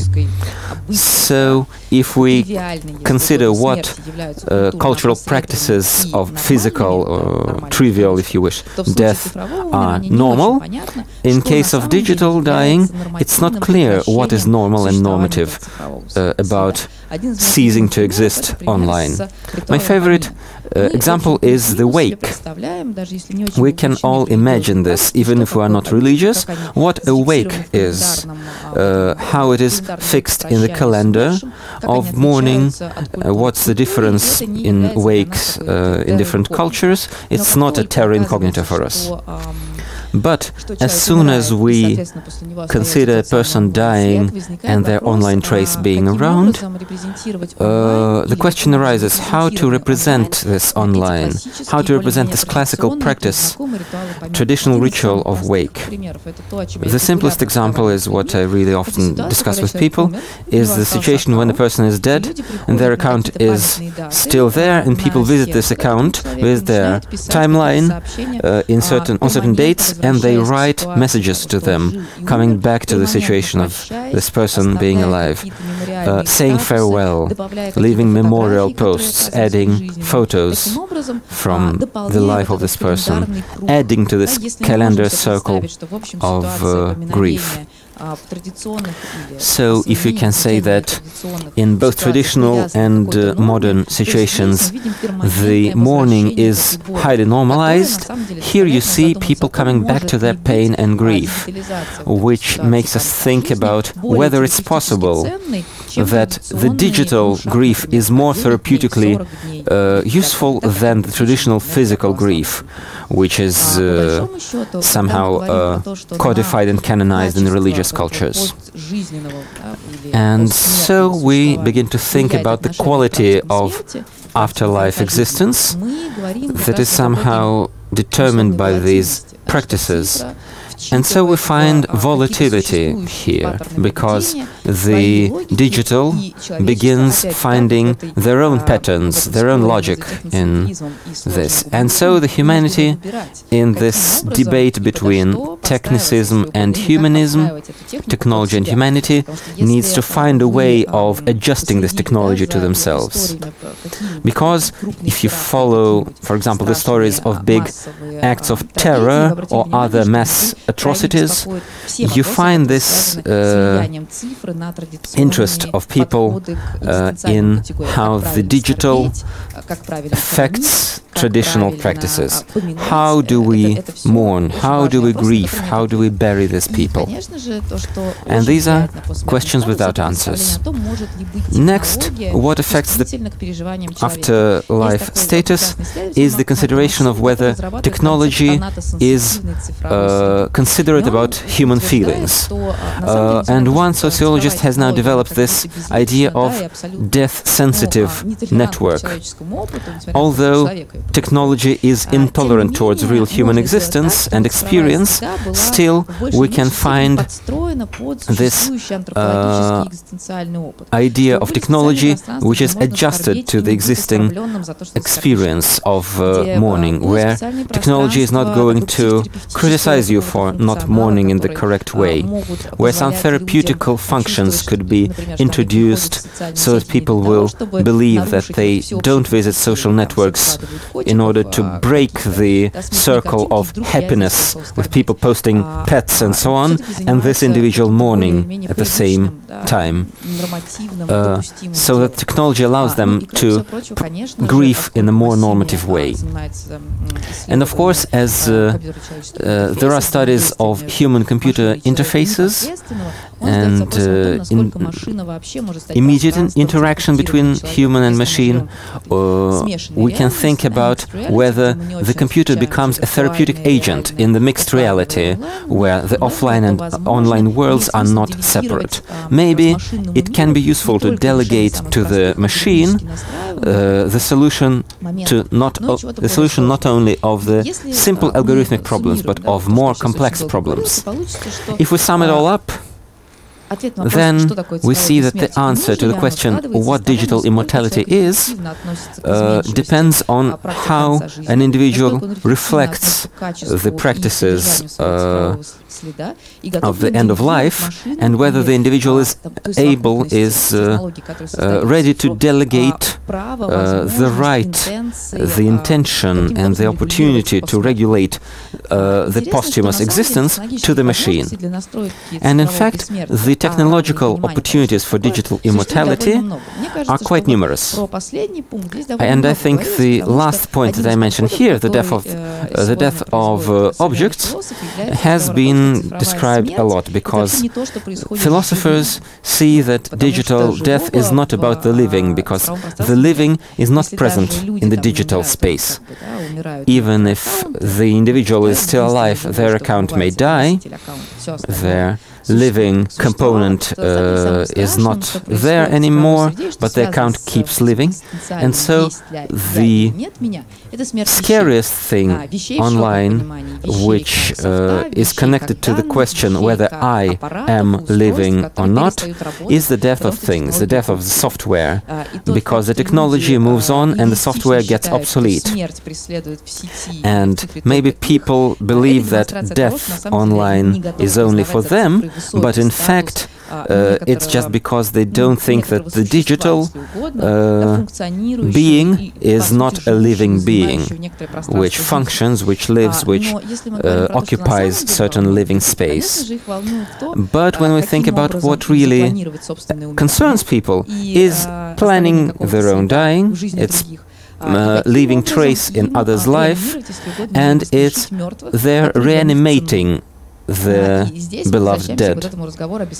And here we get back to this idea of the infinite graveyard occupied by those that are curated by the living, people who are forced to exist because they are needed uh, by those who want to talk to them.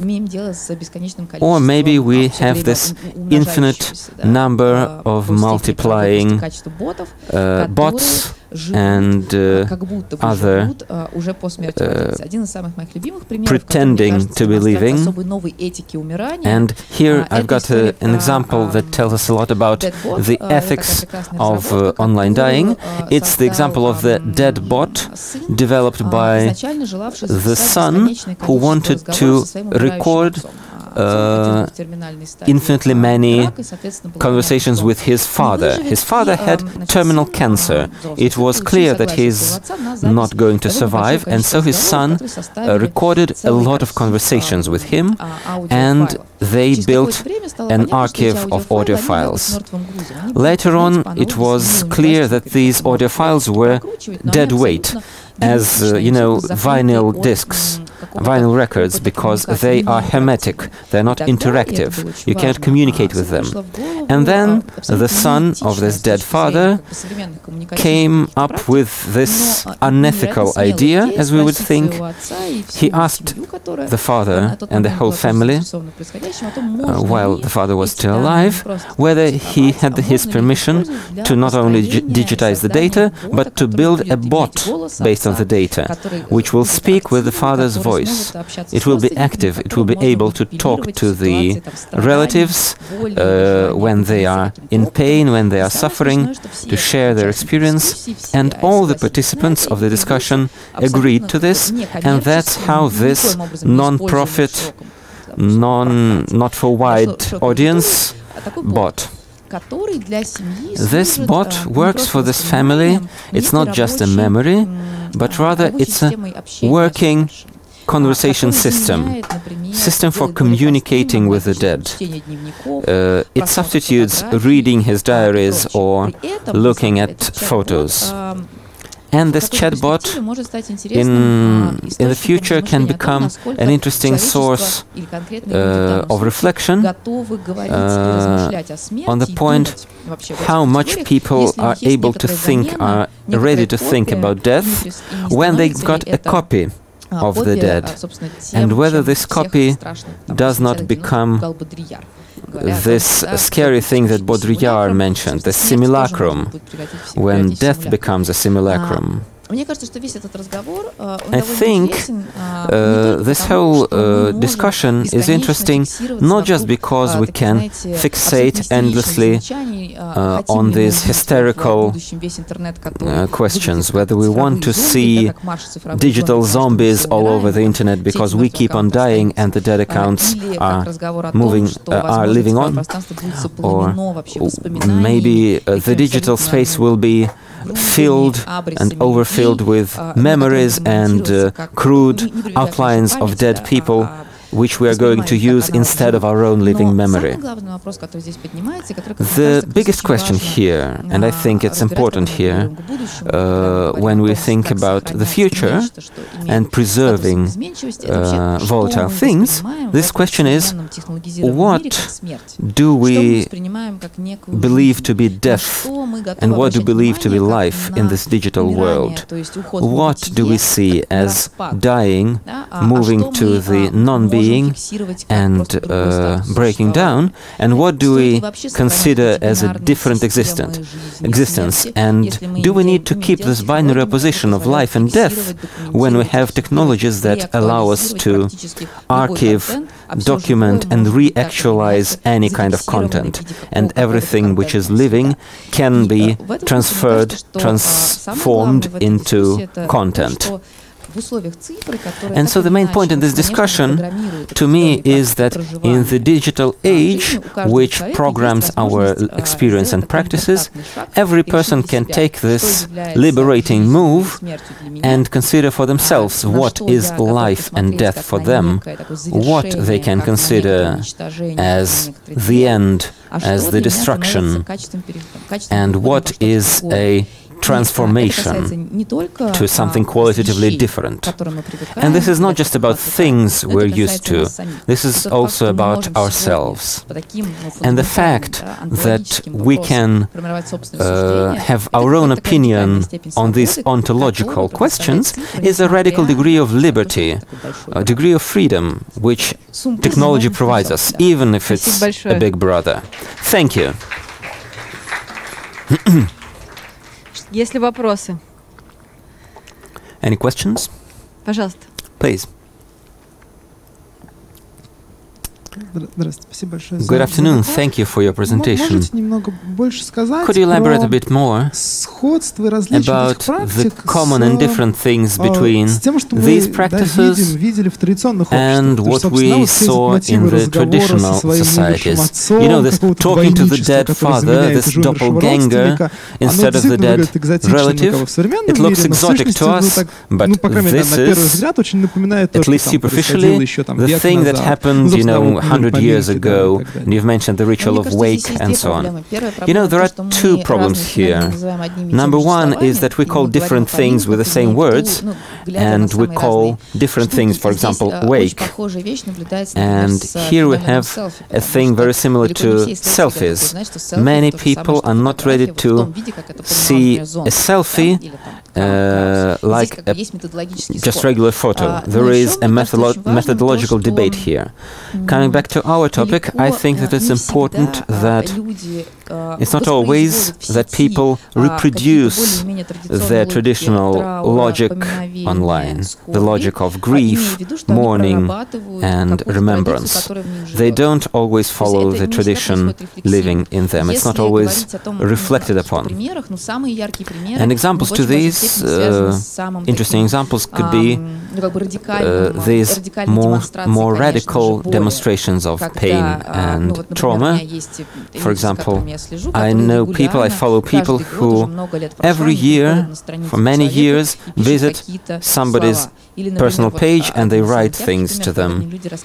Or maybe people tell me that they cannot unfriend a dead friend and they provide us with a lot of explanations, cynical or non cynical. Like, I cannot unfriend somebody because death is not uh, uh, a reason for stopping being their friends. Uh, death does not change that. They're still my friend. Other people say Facebook is my working space, and I will unfriend this individual because they're taking up somebody else's place, somebody who is more useful. And uh, still others say that this friend's account was not public, and I will remove this from person from my friends. Uh, uh I would remove them uh, because their photo would be too painful to see, but if I unfriend them, I will not be able to see this person at all. I need to see them somehow. So, in this situation, an individual is ready to agree that they have delegated their memory to this person's social network account. And so, not seeing the photo means this photo not existing. And so, these di- different uh, explanations are not about these people being callous or cynical, rather, they show us how individually they built their own trajectories of grief. A student of mine, some students of mine told me about a pet's account, a dog's account in the Instagram, and then they had this ethical issue whether to keep it or not, although this is an object.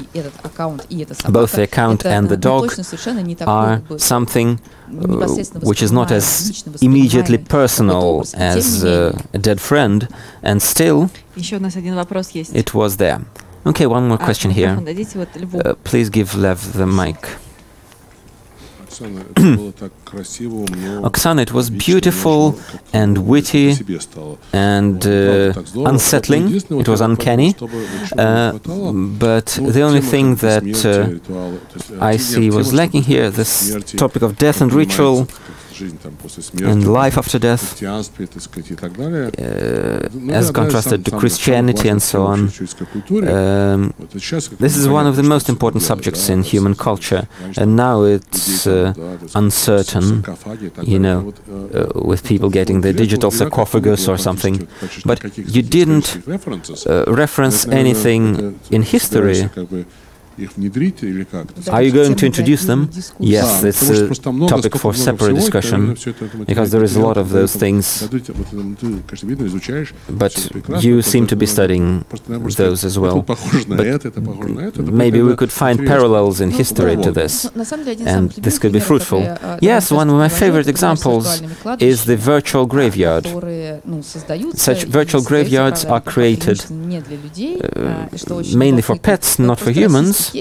But there is a case in Russia, which might be interesting to you, uh, that tells us a lot about the relationship between the offline and the online world. In the Russian culture, there is a big issue with pet cemeteries. They are not very le legitimate in the culture.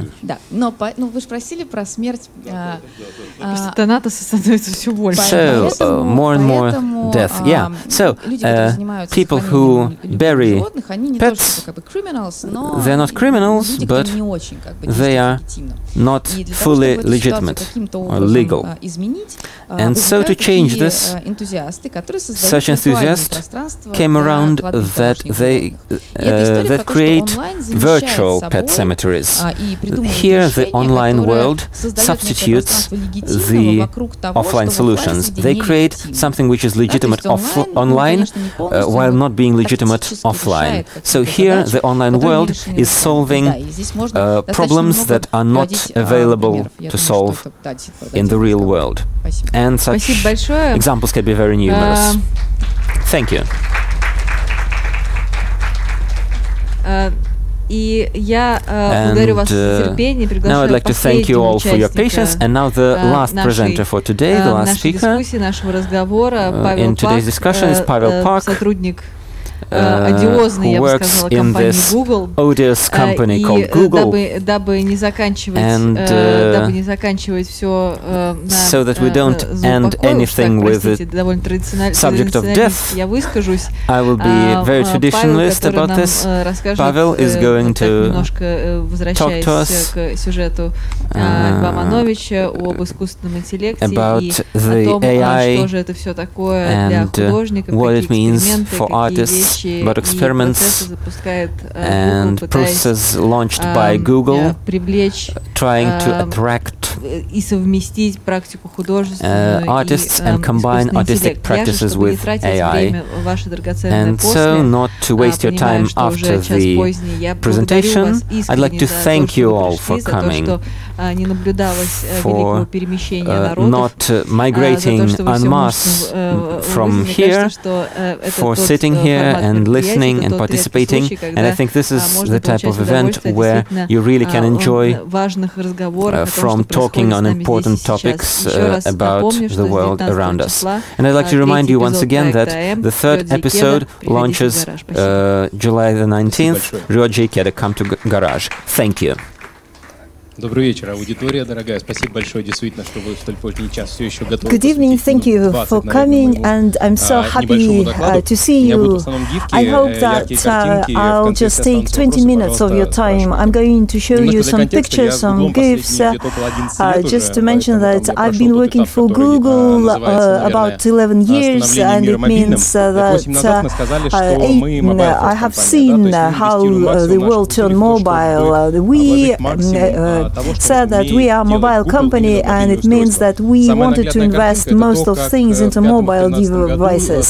So in 2005, 2013, you can see how people met uh, the Pope and uh, the, there's obvious difference. Uh, everybody is holding their phones in 2013. And as to Russia, 50 billion dollars were generated by mobile phones into Russian GDP.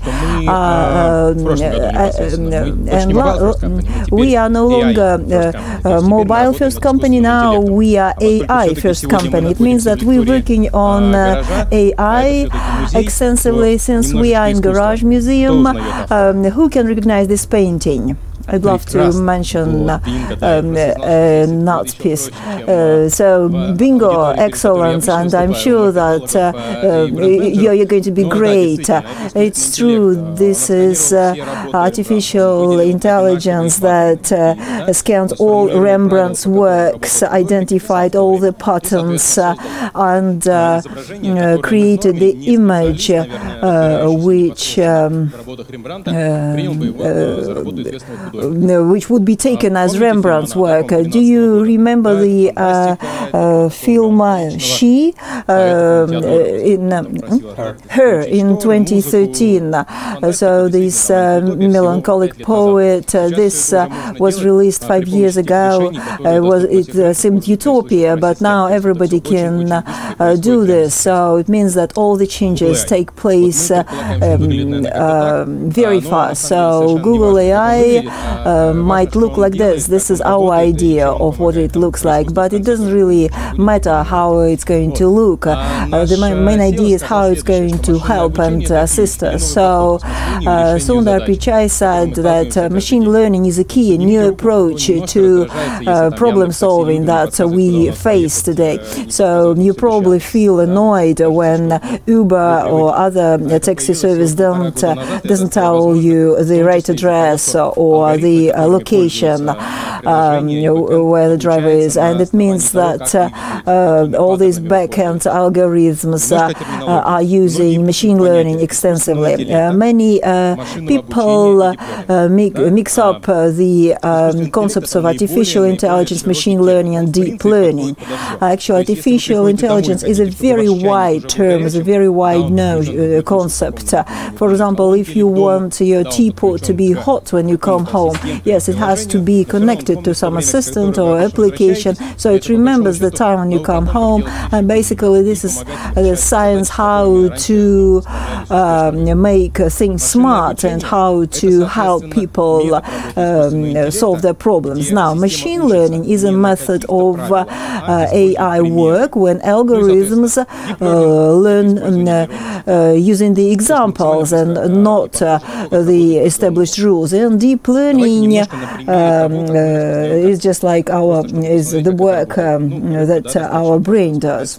For example, this is easy to recognize. A that was a fish, but as to kitten or ice cream or chihuahua or muffin, it's more difficult to recognize. For example, I had um, uh, Belgium uh, Griffon. Uh, it's easy um, to recognize. but what if this is a Komondor breed of dog? For example, what would be the probability or the likelihood of our um, machine sight recognition that this is the dog and not a broom? I'm not um, gonna uh, keep you uh, waiting. 90% uh, of recognition, so it recognizes dog pretty well. as to broom, um, it's more difficult for the machine to recognize. And how does it work? Do, do, you see that layer? actually, do you see that um, thing? actually, I didn't, I couldn't recognize that it was a dog in that basket. so. all these uh, uh, points uh, represent neurons, and uh, uh, there is a binary vector one zero uh, one zero. Then it is multiplied with all the neurons and then they uh, uh, identify whether it's a dog or a cat. 100% uh, precision. And now Tom Hanks or Bill Murray? Sorry, um, this is Bill Murray, but it's not that obvious. Do you agree? Over 99%. Uh, uh, uh, is the precision of recognition. And yes, this is Bill, uh, Bill Murray. It means that the machine can see more details than the human eye does. And it, it can be used for all human uh, life um, fields. For example, we use it for medical science, diagnostics, and forecasting different diseases, just using the re eye retina. And for example, sometimes highly qualified specialists can't do this. And now you can just send photos of eye retina and um, the machine will uh, give you a result uh, which is uh, very precise. Now, um, uh, this is not magic and uh, it involved a lot of hard work. Actually, whenever we talk to our partners, our industrial partners, uh, you know, sometimes you give a lot of data that has been organized. When you make all the calculations, you get a magical result uh, um, at the end. But it's not like that. Uh, uh, the, our partners, different uh, brands, cannot get all the benefits from our cloud platforms unless you work following this uh, pattern. You have uh, large uh, computational resources, you have a lot of experts in machine learning, and you have spent a lot of time marking all the data that you're going to use for learning. Uh, So it means that, that those uh, magical results are the consequences of really hard work. Now, speaking about the um, uh, volumes of uh, computer data um, that are required to process uh, those huge uh, masses of data, Uh, th- there are many business cases uh, that show that artificial intelligence, uh, for example, won and Go uh, play, um, AlphaGo play, um, because it's so complicated because it's impossible to calculate uh, uh, all these um, uh, uh, goes. Uh, you know, the number of combinations, uh, 10, uh, um, uh, 72. Uh, multi, uh, to the power of 72. And when uh, um, we asked, the, when we set down uh, computers uh, um, um, uh, to play together, it uh, uh, lost uh, to the other, one computer um, lost to the other computer 100 to 0. So when we started using these algorithms, um, uh, actually uh, we are using machine learning uh, for all the Google services, and you uh, uh, see them every day without realizing that. And uh, why uh, does vision help? Uh, Why does computer vision help you to find a way? For example, you probably uh, have been to Istanbul, and um, you know how difficult it is to find the right place because uh, all these uh, um, uh, streets look crooked. And now all these uh, uh, images have been processed by our computers, and so all the maps have been enriched with the right uh, content so that you could find all sorts of points that you need. And of course, it's for for people. For example, here you can see some farmers from Japan. They grow cucumbers and computer uh, cloud uh, solutions uh, save a lot of their time. For example, here they use these models to sort the cucumbers depending on the class. So there are nine classes or nine categories of cucumbers. Usually, mothers had to do all this work, and this depended on a large of accumulated experience. And of course, uh, the profit depends on that. And seasonal workers cannot help with that because they cannot develop the right skills uh, to sort out all those cucumbers. So this model and the, right separating tool help them to do it. And so uh, let's get back to art now. This was a beautiful gift that described uh, the uh, our application. Sorry, I've been uh, up uh, since 7 a.m. in the morning. Who can recognize this thing in virtual reality that you can draw?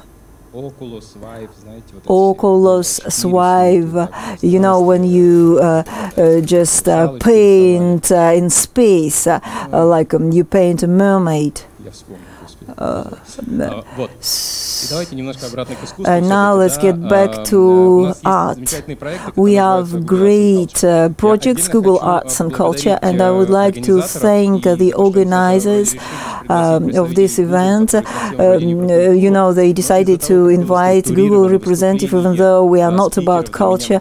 But you know, it was uh, such a great event when speakers were talking about art and technology. So they were moving from one thing to another gradually. So I think it was a great idea to bring us all together here. So thank you.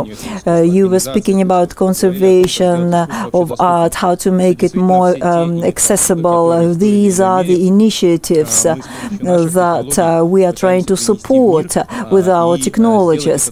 And we would like to make sure all this would be accessible to a very broad audience.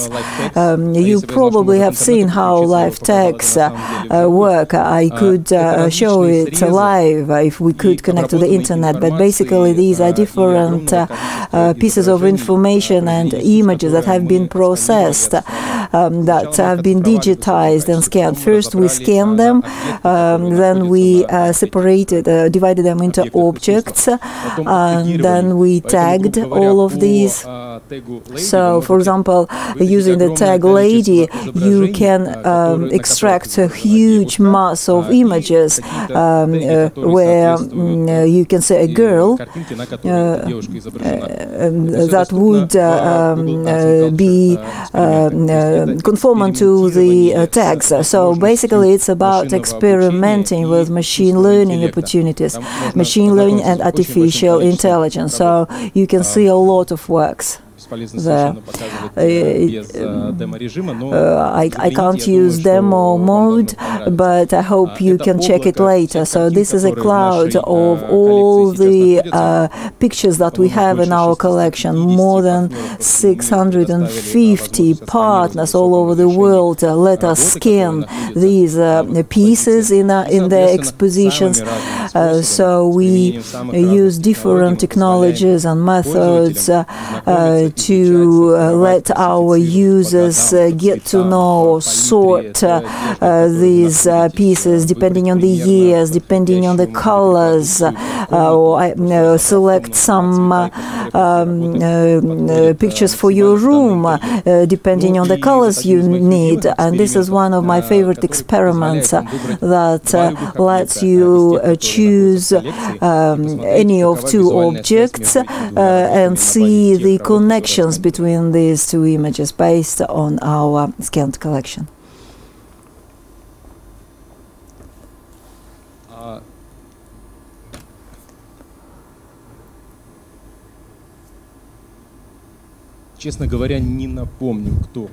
I don't remember the artist's name. I can't uh, tell you his name, unfortunately. Sorry. Uh, but it wasn't done by Google programmers. It's a digital artist that works with this uh, organization. Yeah, that's what I wanted to mention. Раз был небольшой спойлер, на самом деле, да. Yeah, uh, actually, this is uh, what I wanted uh, to say at the end, but it's a very good and right comment because, you know, um, of course, all these technologies are useless without the experts, without the people that specialize in different um, fields. So these platforms are open. That's why I was grateful for this opportunity to talk to this audience. I understand that you are, uh, you know much more about art, and uh, so maybe now that you have seen this platform, you might want uh, to um, um, do something uh, to recreate some experiment, uh, or maybe make uh, your dream come true. So it's all for you. Um, it only depends on your imagination. And another project that is example an example of collaboration between a programmer and digital artist is a Muse uh, project. These are some sketches. Uh, you can see how we model different postures. And for example, take a look at this uh, um, image. What does it look like? more or less. This is Goya. But your idea was right. Uh, we got a lot of works uh, with the images of girls that could be considered muses, and they were all divided into patterns. you know, we had many more images than you can see here, and then we let artificial intelligence create works based on those patterns. And of course, these are early years. Uh, it's not something you want to hang on your wall, but basically it uh, shows you uh, what the machine can do after processing a lot of materials. And, um, you know, the, the artist did a live performance using this, so the artist could take any posture and the machine would be drawing um, the art object. Uh, so yes, this was a performance. I don't know whether this can be called art or not, but this is something our technologies can do now. So thank you very much. Uh, um, uh, thank you for staying until the end, and I'll be happy to take questions if we have time and if you have any questions. Thank you very much. Does it work? Включен? Мой микрофон, yes. Да, а, окей. А, понимаете, вот поскольку вы как бы Uh, it's been very useful uh, that you came, and uh, you probably know that uh, artificial intelligence uh, has become more and uh, more and more important in culture. So machine learning has its own paradigms. Uh, when we give a lot of examples to the machine, so the machine uh, identifies certain pattern patterns and then uh, create new objects in the same style, can classify things. And this has been discussed a lot recently. But can this paradigm generate something completely new? You know, maybe my question doesn't sound right. Maybe it's a wrong question, but still, if you can uh, um, share some thoughts uh, that you have since you are much closer to this machine body. You know, in the 60s and 70s, artists used different algorithms. They generated a lot of abstract objects and music. Now uh, we are having this uh, paradigm of machine learning, but we teach this machine what the, what we have. so my the question is whether this machine can do something completely different? I think uh, the uh, answer is obvious and it's uh, hidden in your uh, question. Uh, so you mean uh, some, um, you mean, well, neural networks um, are useless without human input. so it, it depends on your imagination. For example, when you ask your questions, uh, it's very important for the machine, uh, and the result will depend on that. Of course, uh, new entities will appear, and it's only the matter of audience and criticism whether those entities would be considered as art objects or not. I can give you another example. Um, the the uh, uh, uh, robot did some advertising, and so there was a competition art director against artificial intelligence. You can find this video spot on the internet. So no words, just very strange um, characters that looked something in between dog and uh, person. well, and uh, many people uh, liked it, so it means that new entity appeared, and this was a good experiment, a good example of new entity's um, appearance. Are there any other questions? Thank you for coming. Thank you.